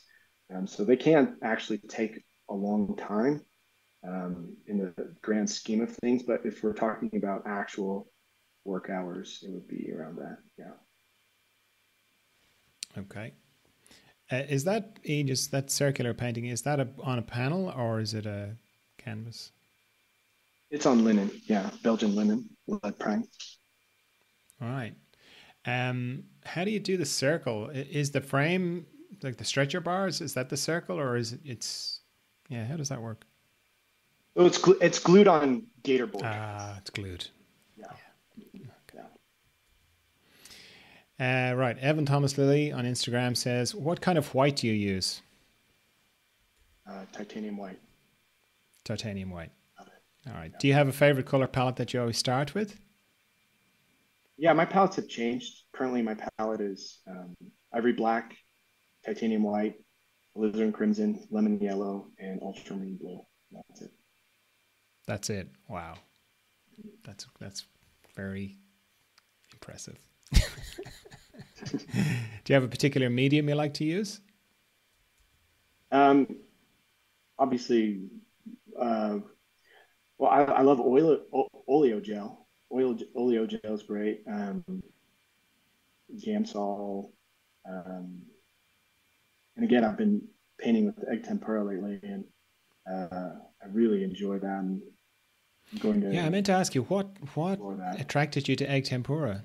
It's from anything I've I haven't done it myself, so I don't know. But anyone I've talked to about it, it seems grueling, like really unforgiving and very hard, and you have to really know what you're going to do in advance, and just difficult.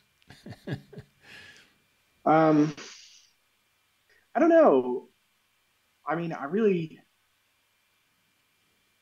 I'm a, I'm not a huge fan of my own work, um, and I think a lot of artists are very critical of their own work. You know, uh, and so I, I critique myself constantly. And one of my critiques for my work was um, I almost felt like they're uh, too too bright, you know, and, and too colorful.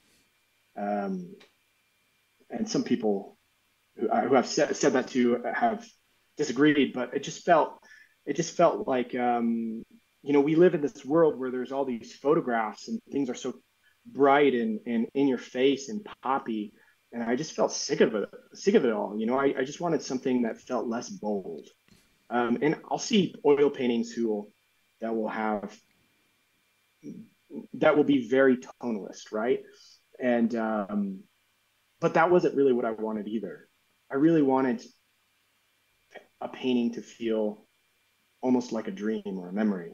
And whenever I look at egg tempera paintings, that's what I see. I see this this subdued um, memory, and um, that's what initially brought me to it. And I I had just a theory that it would uh, give me the desired effect, and I think I think it does. Uh, I really enjoy it. Uh, good it's good when that happens, isn't it? When you have an idea and then it, it actually turns out to be what yeah, you hoped it would be. Look at this, right? Um, did you finish answering about mediums, or was there anything more you wanted to say about it? Yeah, oleo gel, um, Gamsol. Yeah, uh, that's about it. Okay, and favorite type of brush, make of brush, shape of brush. I'm, I am no yeah, it doesn't matter to me. I I'll go to you know I'll I'll have a kind of a wrist test where I'll just flick it against my wrist um, and see if I like it. Uh, you know, it seems like more br- bristly, um, natural natural hair brushes are great for covering large swaths. And um, if I want to do some more finish work, I, I, like them to be a little bit softer and uh, we'll go for a synthetic brush or just something that feels uh, a little bit lighter to the to, to, my skin. All right. And shape wise, does it matter? Um, primarily rounds, some fan brushes, and uh, that's mostly it. I'll, I'll have a couple square brushes, but uh, primarily rounds and fan brushes. All right. And what kind of palette do you have? Uh, New Wave, New Wave palette with palette. Is that the vertical one? No, I, I hold it. You know, um, just holding my my arm. So is that wooden or plastic or? Yeah, it's uh, it's wood. It's wooden. Okay, yeah. Um, how do you check yourself as you're working? You know, like some artists, they'll turn the canvas upside down, they'll uh, take pictures with their phone, or they'll use mirrors a lot, or they'll get their friends in to give them some critiques, or email their friends. What sort of things do you do? Yeah, uh, my my uh, my family will give me plenty of input, whether I ask it or not, which is which is great. I, I love it and I, I welcome it. They're they're they're great, um, and I appreciate their input. And, and often it's it's correct. Um, um, do you mean like your wife and your sons, or do you mean your brothers and sisters as well? Uh, brothers, sisters, wife. Um, okay. All of them, right? Uh, and on top of that, I'll um, look in a mirror. I'll take pictures with my phone. I'll turn it upside down. Turn out the lights a lot. That's actually a real big one is turning out the lights. And you know, once it has that vibrating feel, if I can feel that, I know I know I'm on the right track, right? It's yeah. glowing, it's vibrating, it's there's something about it. Yeah. What's your varnishing preference? Uh, Gamvar. Just use Gamvar gloss varnish. But I got you got to be careful. It can sometimes get too glossy. Um, so, uh, you know, you can you can mix it with some um, satin as well if you need to. But usually, I just go straight gloss. Yeah. All right. And what kind of lighting setup do you have in your studio? Oh, I have tons of just. Uh, well, I have I have some big windows, so I have mostly natural light during the day, and then I have some big LED lights that you know get as close to natural light as I can. Very good. And do you listen to anything um, when you're painting? The John Dalton podcast, of course. Well, um, that goes without saying. yeah, I mean, my, I go through different stuff. You know, I used to listen to like the news, um, and I, I, don't do that anymore, just because you know it can just get you in a bad mood. Um, and so I will listen to just some instrumental music or nothing mostly now. Yeah. So my podcast, music or nothing. That's that's that's right. That's a recipe for success right there. I agree, John Dalton. um, Maria Radon on Patreon. Thanks for the tea, Maria. Says, Hi, Johns. um, I love the ephemeral, mystical appearance of John's portraits. Uh, when I was much younger and used coloured pencils to create art, I played with putting various colours really close to each other as a way to fill space in an interesting way, making colours vibrate. These paintings remind me of coloured pencils. I wonder if John has ever used coloured pencils or pastels in this way. I was influenced by the Impressionists at the time, of course, and John's modern slash unique take on pointillism is very intriguing and inspiring to me. Oh, well, thank you. I appreciate that. Um, uh, remind me the beginning of that question. Could you read the beginnings? She was asking about colored pencils. Have you ever used colored pencils and putting colors beside each other? Which I've seen from yes. the close-ups that okay. you do that kind of thing, putting colors beside uh, each other to, yeah, you know, op- optical mixing or getting the colors to vibrate together, that kind of thing. Yes. So, so yeah, um, optical mixing.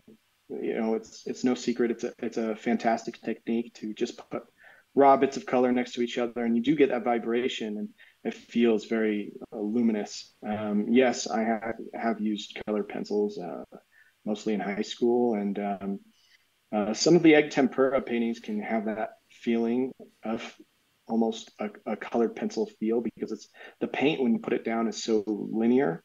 Um, it just seems it just will go so uh, so it so it almost feels like um, if you were to, to melt colored pencils. Uh, it kind of feels that way on the brush. Um, but uh, yeah, yeah, I've I love colored pencils. I haven't done them since uh, for for a very very long time. Uh, I think they're great medium. I maybe I should do some more. I think it's great, um, and I'd, I'd love to see your paintings or your your drawings. and um, maybe just talk a little bit about pointillism because um, it's not that common and it's something that you have you do. Yeah um, well pointillism i feel like again going back to that idea of accents um, i will always I, I approach a painting like most people will approach a painting or at least kind of the generic um, you know, tiling, laying down the form. The pointillism is the last phase where I'm, I'm just going that extra mile, right? Where I feel like just one dot of color can change the feel, the feel to uh, my subject. And I, I started noticing that when I was drawing in the figure drawing uh, room in school that if I put like just one dash or one dot, I could achieve the subtlety of pop or or um, emphasis that I wanted. And so um, that's really what it is: is this desire to um, put that extra oomph, that extra grab to get that figure, to get that subject out, coming out at you and really popping. And um, I use I use it almost like a glaze, right? Where hmm. you glaze to to tint something or or to change it slightly. Um, it's the same concept, except you know I'm not I'm not glazing. I'm just putting those accents in those moments um, of emphasis and the radiance that comes that that vibration that I was talking about where you know I'll I'll, I'll put it in my room and once with the lights out and I feel that vibration the radiance that can be achieved from that me- method of of careful careful consideration um, is very appealing to me.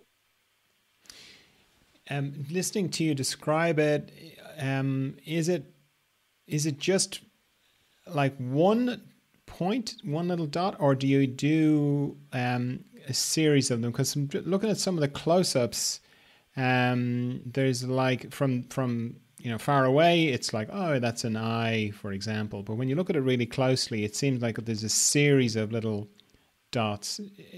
Which do you do, or both, or is it both? Um, I mean, it's tons of dots. Yeah, it's tons. I mean, dots, yeah. Okay. And uh, or or or or strokes, or dashes, or um, smudges. It doesn't pointillism. Uh, pointillism. It, it it depends what the subject calls for, right? Um, it's not exclusively dots. Um, sometimes yeah. you know I'll, I'll, I'll kind of mess it into the to the flesh a little bit um, with strokes or something like that. But the concept is, um, yes, those those small bits of broken color, um, I will I'll do, and I'll do them pretty rapidly, um, except maybe for the final final moments, right? If I if I want to maybe bring the nose a little bit forward, make it pop towards the viewer just a little bit, maybe I'll put, you know, a piece of warm or high chroma color on my brush and put one, two dots, three dots, giving a extra uh, the illusion of it coming towards the viewer just a little bit more. Yeah, yeah, great. Um, Maria has another question. She says, Another thing I always wonder about other painters is whether journaling or writing is part of their creative process, and if so, to what extent? Um, yeah, uh, absolutely. I write down some thoughts um, behind paintings and, and why I want to, why I even want to, you know, sac- put in the time to create the painting. Um, and, um, but it's, it's never like long paragraphs or papers or anything like that. Maybe, or excuse me, long papers. It's more so just, you know, a paragraph or so um, of what I'm thinking about. Uh, but mostly I'll just have an image in my head and hammer hammer it away and move things around more than anything. But the verbal written um, method definitely helps you narrow in those ideas and those thoughts. Very good. And how do you name your paintings? Um, I don't know. I just I just think about it. Uh, I'll think about phrases, words. Maybe I'll put put like um, you know I've I've maybe even thought of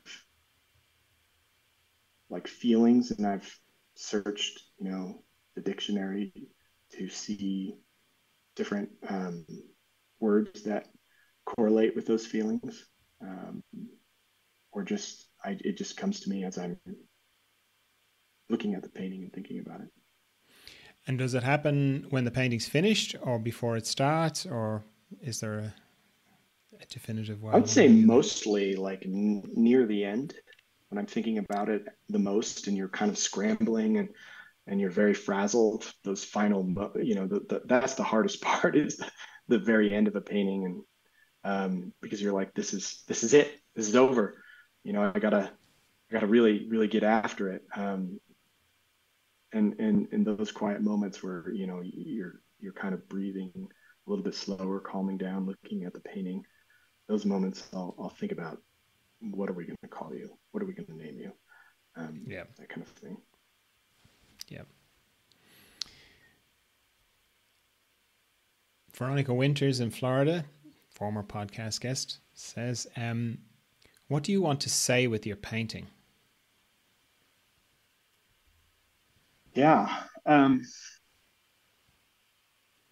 yeah, I mean, it's an interesting question because um, I think when I was young, a little bit younger, you know, I mean, I'm fairly young, young in my career as it is, but even younger, let's say, I'm 32. Um, I would be a lot about, or even as a student, it's a lot about what I can do. You know, look look what I can do a little bit, and then every artist knows that as as they develop into their career and find out what they want to make it becomes more like what what what do i want to reveal? Um, and i can't say that every painting is the same. Like i wish i could say john darley is saying this about all my all my work you know? This is this is this is my brand, you know, to use a a um, catchy catchy phrase. Uh, but each painting has its own objective, and I think feel like most paintings that are successful are about something, even if it's a simple thing. Um, and when I'm painting for a client, which is often the case, um, and I'm doing a portrait, I'm thinking about that person and who they are and um, what future generations that they show to their children will think about that painting and what it will represent to, to not only them, but um, to their children and their children's children, like a, a, a generational message. Um, and then when it comes to my work, I'm just really talking about my life and my emotions at that time and state. Um, so kind of two different uh, messages or two different objectives, I suppose, depending on the painting. Yeah. So in your own paintings, it, it doesn't sound like you're you're trying to get a message across. You're just trying to uh, express. It's more of an, active expression. Like I'm just this is what's going on for me. Whereas um, with the portraits, it sounds like it's more you're trying to um, capture the essence of the person as best you can in the painting. Yeah, absolutely. Um, and with my personal work, I wouldn't even, I would say, I would say almost it's like I'm more so having a conversation with the painting, right? And I, I actually do feel like I might be a crazy person because I will in my head like talk to these paintings and like have these discussions with them. And and these conversations where i'm trying to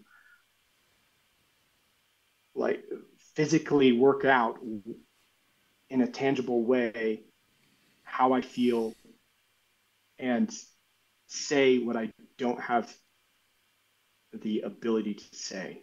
You know when i was a boy this was a very common thing i would do. And again this is what I felt I had respect for. I have respect for Odd Nerdrum for is because I feel like he does this um, so naturally.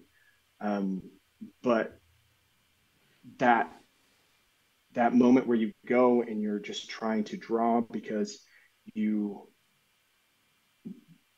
you want you want control over this feeling that you have and you want to see it and you want to and you want others to see it and to understand it. Um, and having that physical thing that you can work out and bring to life and then show it to the world and have other people criticize it or or relate to it or um, want it is it's really cool. It's it's what I aim for when I'm painting for my own personal projects for galleries or wherever it's going to go. Yeah. So did you did you find it soothing as a kid?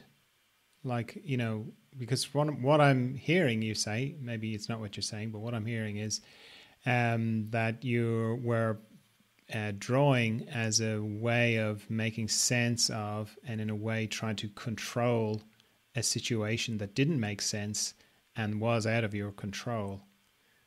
So I'm yeah, wondering if, if the if the if the act of drawing actually soothed you in some way. hundred percent. Yeah. I mean I mean, like I said, I went to all these different schools. Um, I would, you know, I'd, I'd get in school scuffles on a very regular basis.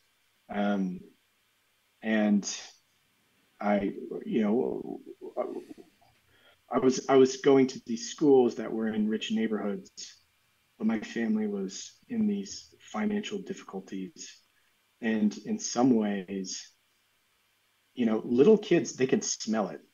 You know, they they can smell it, and and uh, and it forced me to deal with these emotions in any way I could. You know, I was always uncomfortable in my own skin just because I felt like I um, I didn't understand. I just didn't understand exactly what was going on. I didn't understand why my parents were stressed out, um, you know, and or or why why this or why that, um, or why it seemed like I could never do anything right. I was always, you know, I, I think I think in early junior high I went to I think I went to in school suspension like at least once a month, you know, for, for whatever shenanigans I was doing. Um, and I, you know, I think it's funny because that that um, that per, that lady, what I, I would always go to, was like we became good buddies, you know. And I loved going because I would just draw, and I think I ended up going to those in school suspensions because I would just draw and not. That's just what I would want to do, and or disrupt somebody and or, or, or, you know do some sort of disruptive shenanigans anything to stimulate my my, my mind um, was something I would do. And I I'm not saying like poor me, like oh you know I you know my my childhood's hard. My childhood was absolutely fine. You know I wasn't you know it was great, but um, but I'm just saying the, these were my methods of kind of coping and and, and working it out uh, as a child and still today as an adult right? You you know you you, you have emotions and you have thoughts and ideas, and everybody has them. And it's like, what do you what are you supposed to do with them, right? And a lot a lot of people have different ways of handling it, right? Uh, cold showers, right? Or or um, you know maybe people get really into like the pursuit of um, you know getting getting really jacked at the gym or or um, whatever. You, you have them and some people have them more intensely than others but you got to do something with it right and i think for a lot of artists it's uh, it's the medium of paint. It's the medium of, of drawing or whatever. And for me i mean as a kid it was pretty much drawing and fighting. I got in tons of little little kid fights that were just you know little scuffles. Um, and as you know and as you become older that's you don't do that. You know you have to learn how to take your emotions and and apply them to the marketplace and to the public in a way that's accepted by others. And uh, uh, but th- those st- those emotions um, were abs- are absolutely present even today, and where it's me working out what I'm feeling and trying to make sense, and also thinking about the you know, people before me, people, the, the present, and you know what the future will look like. Very good. Um, what's the last piece of art you bought? An Ansel Adams print was the last piece of art that I bought. It's the Tetons, which is lovely. I love his work. Um, I've been in discussions with my neighbor Ben Hammond. I'm trying to get him to get give me one of his sculptures that I he won't give me, but maybe maybe we can do a trade or I gotta I gotta save up for it because um, we were in a show together recently, um, and I I was walking around and I saw this sculpture. I think it was of, of his wife because it, it, has the anatomical stru- bone structure or facial structure of his wife, but it seems like maybe he manipulated it a little bit to uh, be a more of an ambiguous female. But it's just of her pregnant, um, and there's just maybe it's the stage of life I am with you know young babies, but there's just something so beautiful about you know pregnancy and and you know women who are about to give birth that and and the sculpture was just was just stunning to me and I I have I have a place in my home and in my yard where I ha- I want different uh, sculptures and, and artwork and I'm trying to I'm trying to get a, get a plan together to make it happen. so maybe maybe him and I can do a trade or something. But I want I want that sculpture. It's going to be mine. Very good. Um, what practical tips do you have for balancing uh, parenthood and being an artist? Like, how have you made it work? I mean, it's difficult, um, but it's but at the same time, it's easy. Um, it's easy in that motivation to paint and to work is not an issue. I don't waste any time at all. Um, 100% on whenever I'm at the at the easel. Um, it's difficult in that you know you're you're you're just just practical stuff. Like I, I, I clean the floors like a hundred times a day. It seems like there's just goo places, you know, it's like weird weird uh, messes and stuff. But the, the biggest tip I would give somebody who wants to have children and to be a painter um, or to be an artist is to um, be be on when you're on with your children and be on when when it's game time for painting um, and try to consolidate the two as best as you can as best you can um, for me i work my, my wife she works part time. She has a part time hourly job where she'll work from eight to 12. And then I will work from about 12 to about to, to about seven is kind of the schedule we have. And so we'll just kind of tag team with one another. And there's some real cool and sweet moments with that system where, you know, sometimes I'll allow my kids to be in my studio. I mean, I'm kind of weird about it. Sometimes I feel like I want it's okay, and sometimes it's not, um, just based off how I feel. But sometimes it's really cool. You know, my son when he's drawing with me, or my wife she's reading books to my kids as I'm painting. I mean, it really is the dream in, in some ways. I mean, it's it's real wealth. You know, you you get to um, if you can be an artist and have children and make it work. I mean, I guess making it work is you never know, but um, things can always happen uh, and change your situation. But uh, it's it's really fantastic. My kids and parenting are um, they are my they are in a way my art. I mean, raising children is an incredibly creative thing and um, I get the same feelings and almost like a vibration when when I'm seeing their little minds figure out stuff as you're teaching them and, and as you're uh, at the same time making progress on paintings. So I guess my biggest tip would be to um, enjoy it, enjoy the journey, enjoy the the, the chaos, and um, let all of that fuel you uh, into your creative process and, and into your paintings. Add it. Um, it's wonderful. Kids are kids and children are are are definitely something that I don't think should be um, shunned or or something you, you don't pursue because you're scared. If it's something you want to do and you want to be a painter and you want to be an artist, definitely go for it. Um, yeah, 100%. Lovely. Um, okay, you're. This is my desert island question. You're on a desert island. No one is coming. Um, all your food and shelter is taken care of, so you don't have to do anything to do with that. And there are art supplies there. Would you still make paintings that no one was ever going to see except yourself? Oh yeah, hundred percent. That's such a great question, John.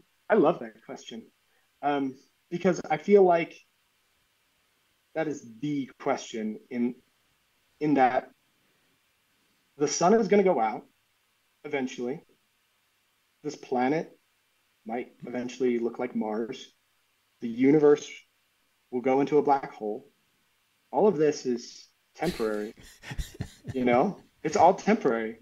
None of us are getting out of this alive, right? And painting and, or and painting or really whatever our professions or our pursuits are, we are learning. We are growing from that those activities. And I think that's, at least from my perspective, that's what we take. That's the only thing we can take is what we learn and those experiences and that growth. Um, and paintings for me are, you know, a, a, way to speak, a way to serve, but most importantly, in my mind, a way for, for me to grow and to push myself and to um, take whatever whatever knowledge I, I gain from it into the next life. So absolutely, I would. Yeah. Um, that's lovely. Do you think they would be the same, or do you think you would paint different things if you, you know, were just there on your own and no one was going to ever see them, but you?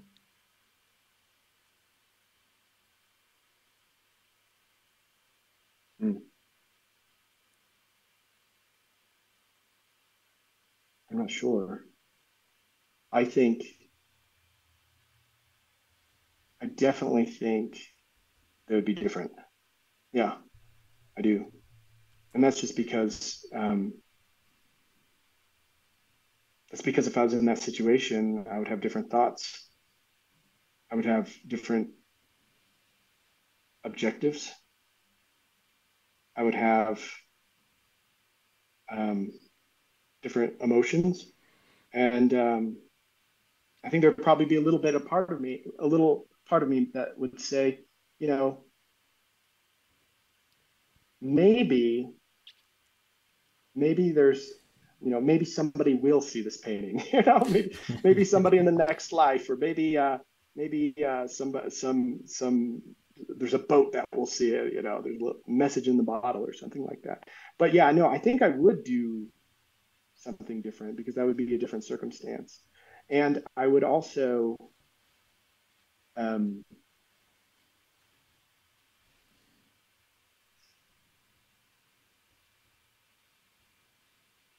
I would I would hope that my work today, regardless of being on a desolate island, will be different. My the work that I'm going to be doing in 2023 is not going to be the work that I did in 2022. It's not going to be the work that I did in 2021.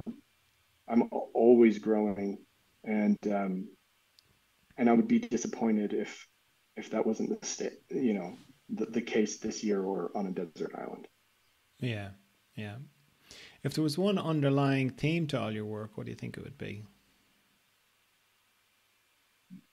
Just the people around me, um, the West where I live. Um,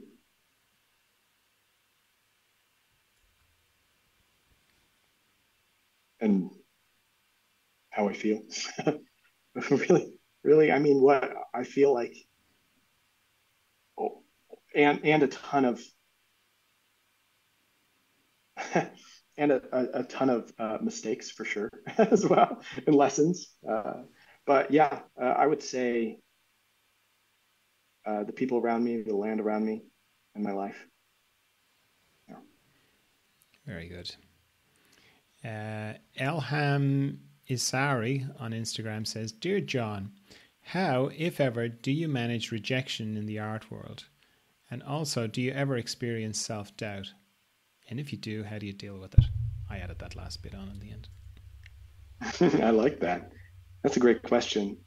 I mean, there's so many ways I could uh, approach this. Let me think. Well, first of all, who cares? I mean, people are going to not like your work 100%. I mean, there's so many, I'm sure there's people who don't like my work. I mean, maybe they'll even comment on this, you know, and I mean, what are you going to do about it? Um, you just move on. The second thing is, um, yeah, that stuff motivates me. You know, uh, I'm very much so motivated by people not liking my work, not liking me. Um, you know, and uh, and that sounds weird, but it, it adds fuel to the fire. And the third thing is, um, there's nobody who is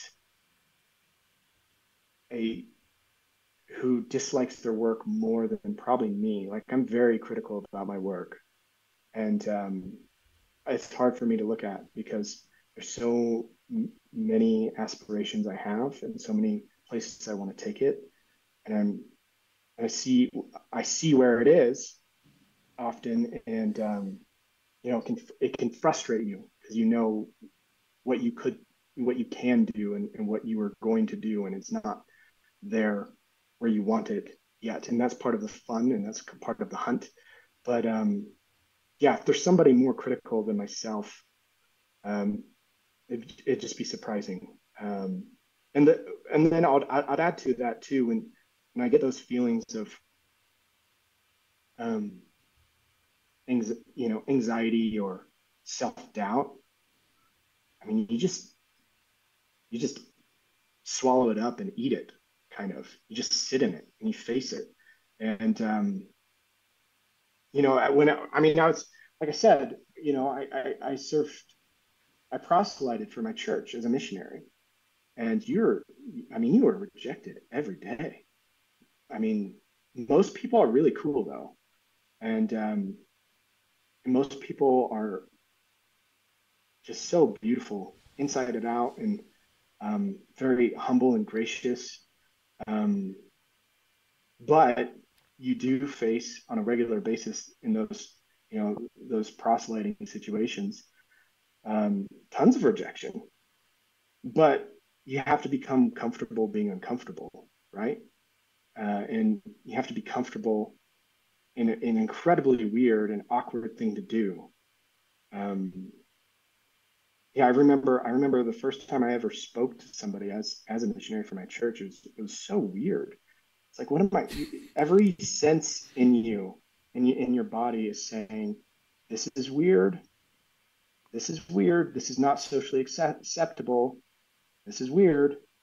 Um, and so, all your natural instincts are to, like, not go up to somebody and talk to them about like God or the meaning of life, which, by the way, I will say is a fascinating and unbelievably insightful thing to do that and speak with people you've never met and you probably would never meet or talk to had you not been in that circumstances uh, circumstance. It's it's very insightful. But I remember the first guy.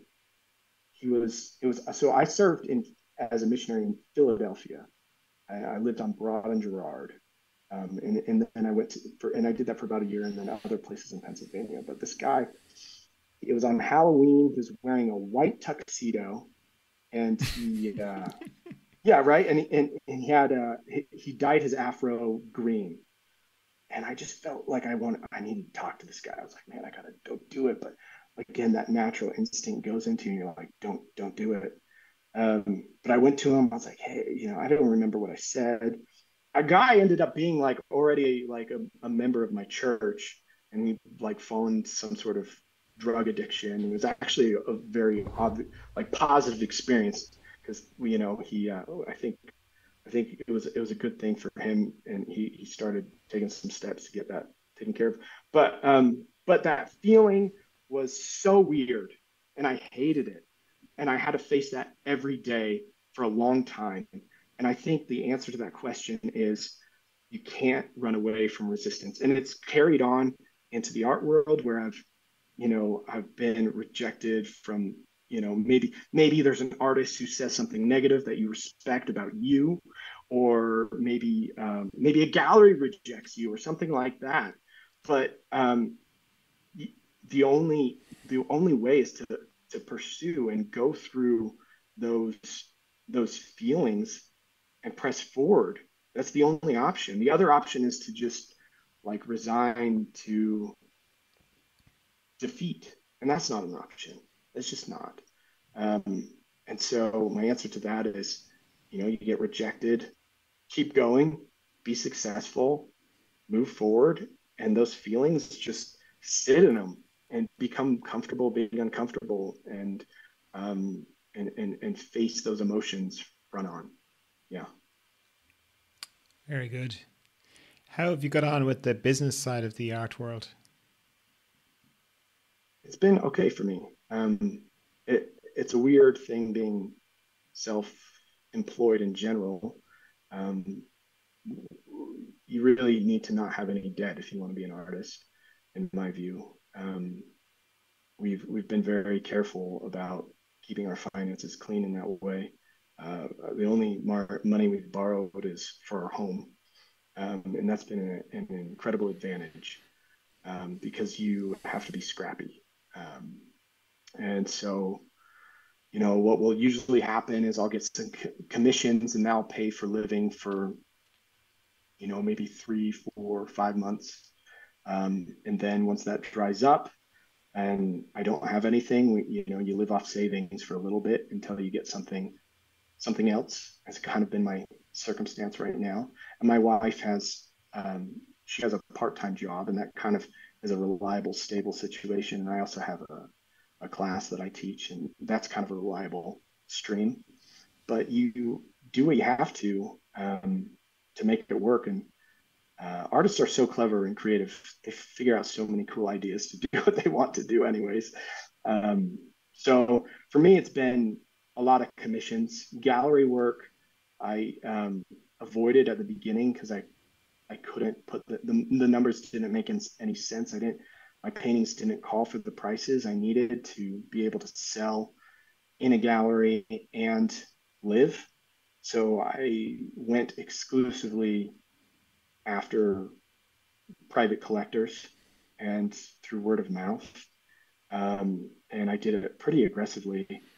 And um, that is really how I got got the start. Now now I'm at a stage where my paintings can sell for for enough where a gallery would be worth it and is worth it. And I work with a few, but um, but word of mouth is very strong, and um, and whatever you can do where you can envision a path where you can financially make it work is probably the what you, what you should pursue, right? And everyone's circumstance is a little bit different.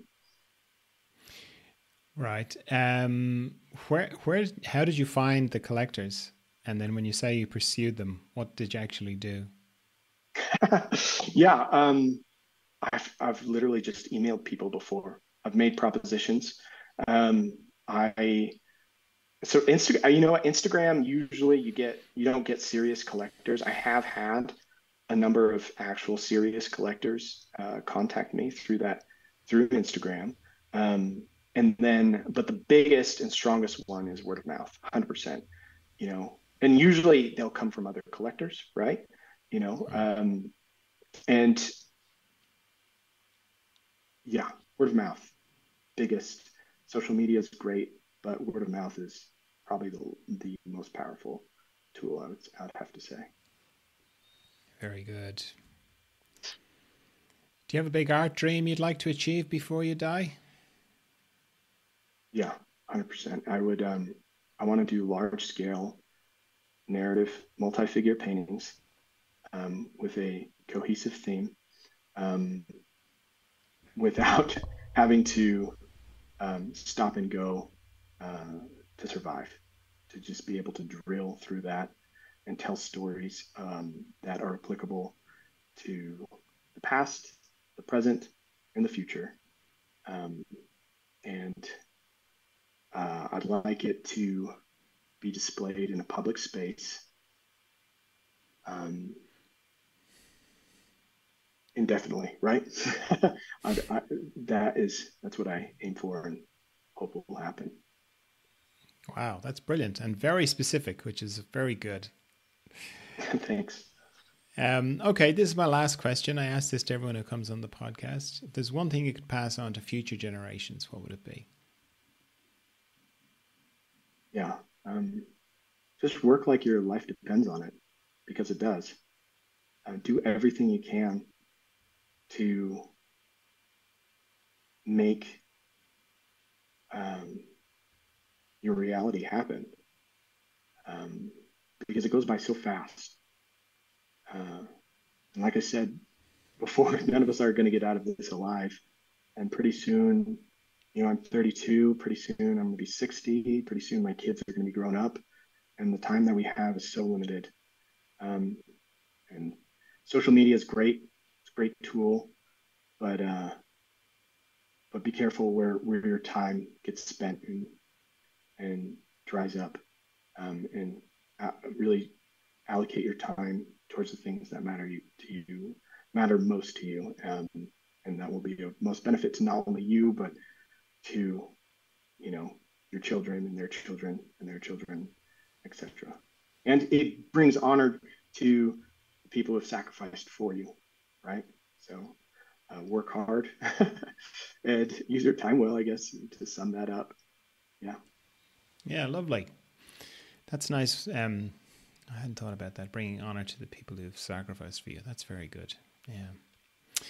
Um, okay, that's great. Look, I think your paintings are fantastic. I really enjoy them. They have a luminous quality, and I was wondering how you got it. And I think you said it when you were talking about your ministry and you were saying that all people are beautiful both inside and out and i was like ah okay there it is.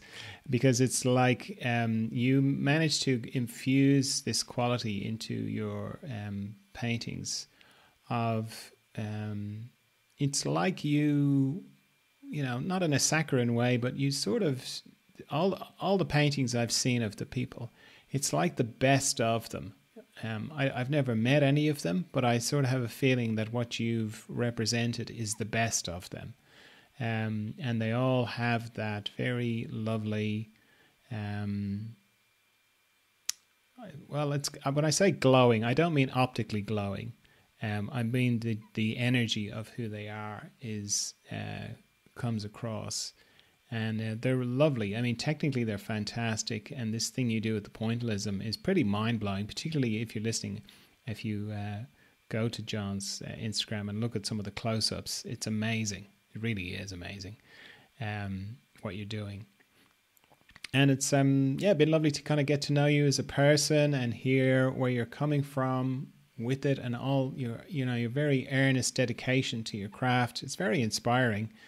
Um, and yeah, it's been lovely chatting with you.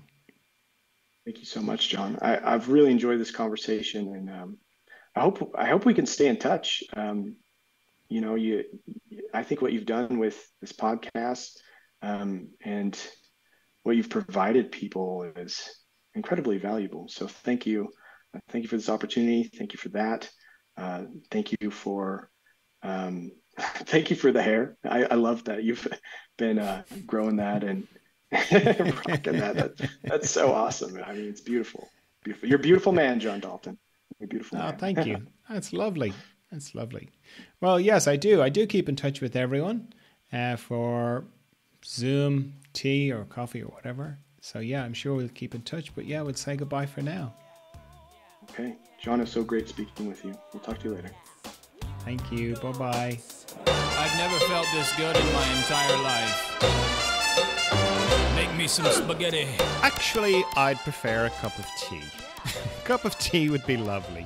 So, yeah, just a little reminder, mainly because every second or third person who becomes a patron has got in touch with me and said, you know what, I've been listening to your podcast for ages and I didn't become a patron not because I don't have the money, not because I don't think it's great, I just didn't get around to it. So, this is a little friendly reminder that if you'd like to be a patron, you'd like to buy me a cup of tea, go to patreon.com forward slash John Dalton, gently does it, all one word, or follow the link in the show notes to become a patron. I would really appreciate it if you could do that, particularly if you've been meaning to and you just haven't got around to it.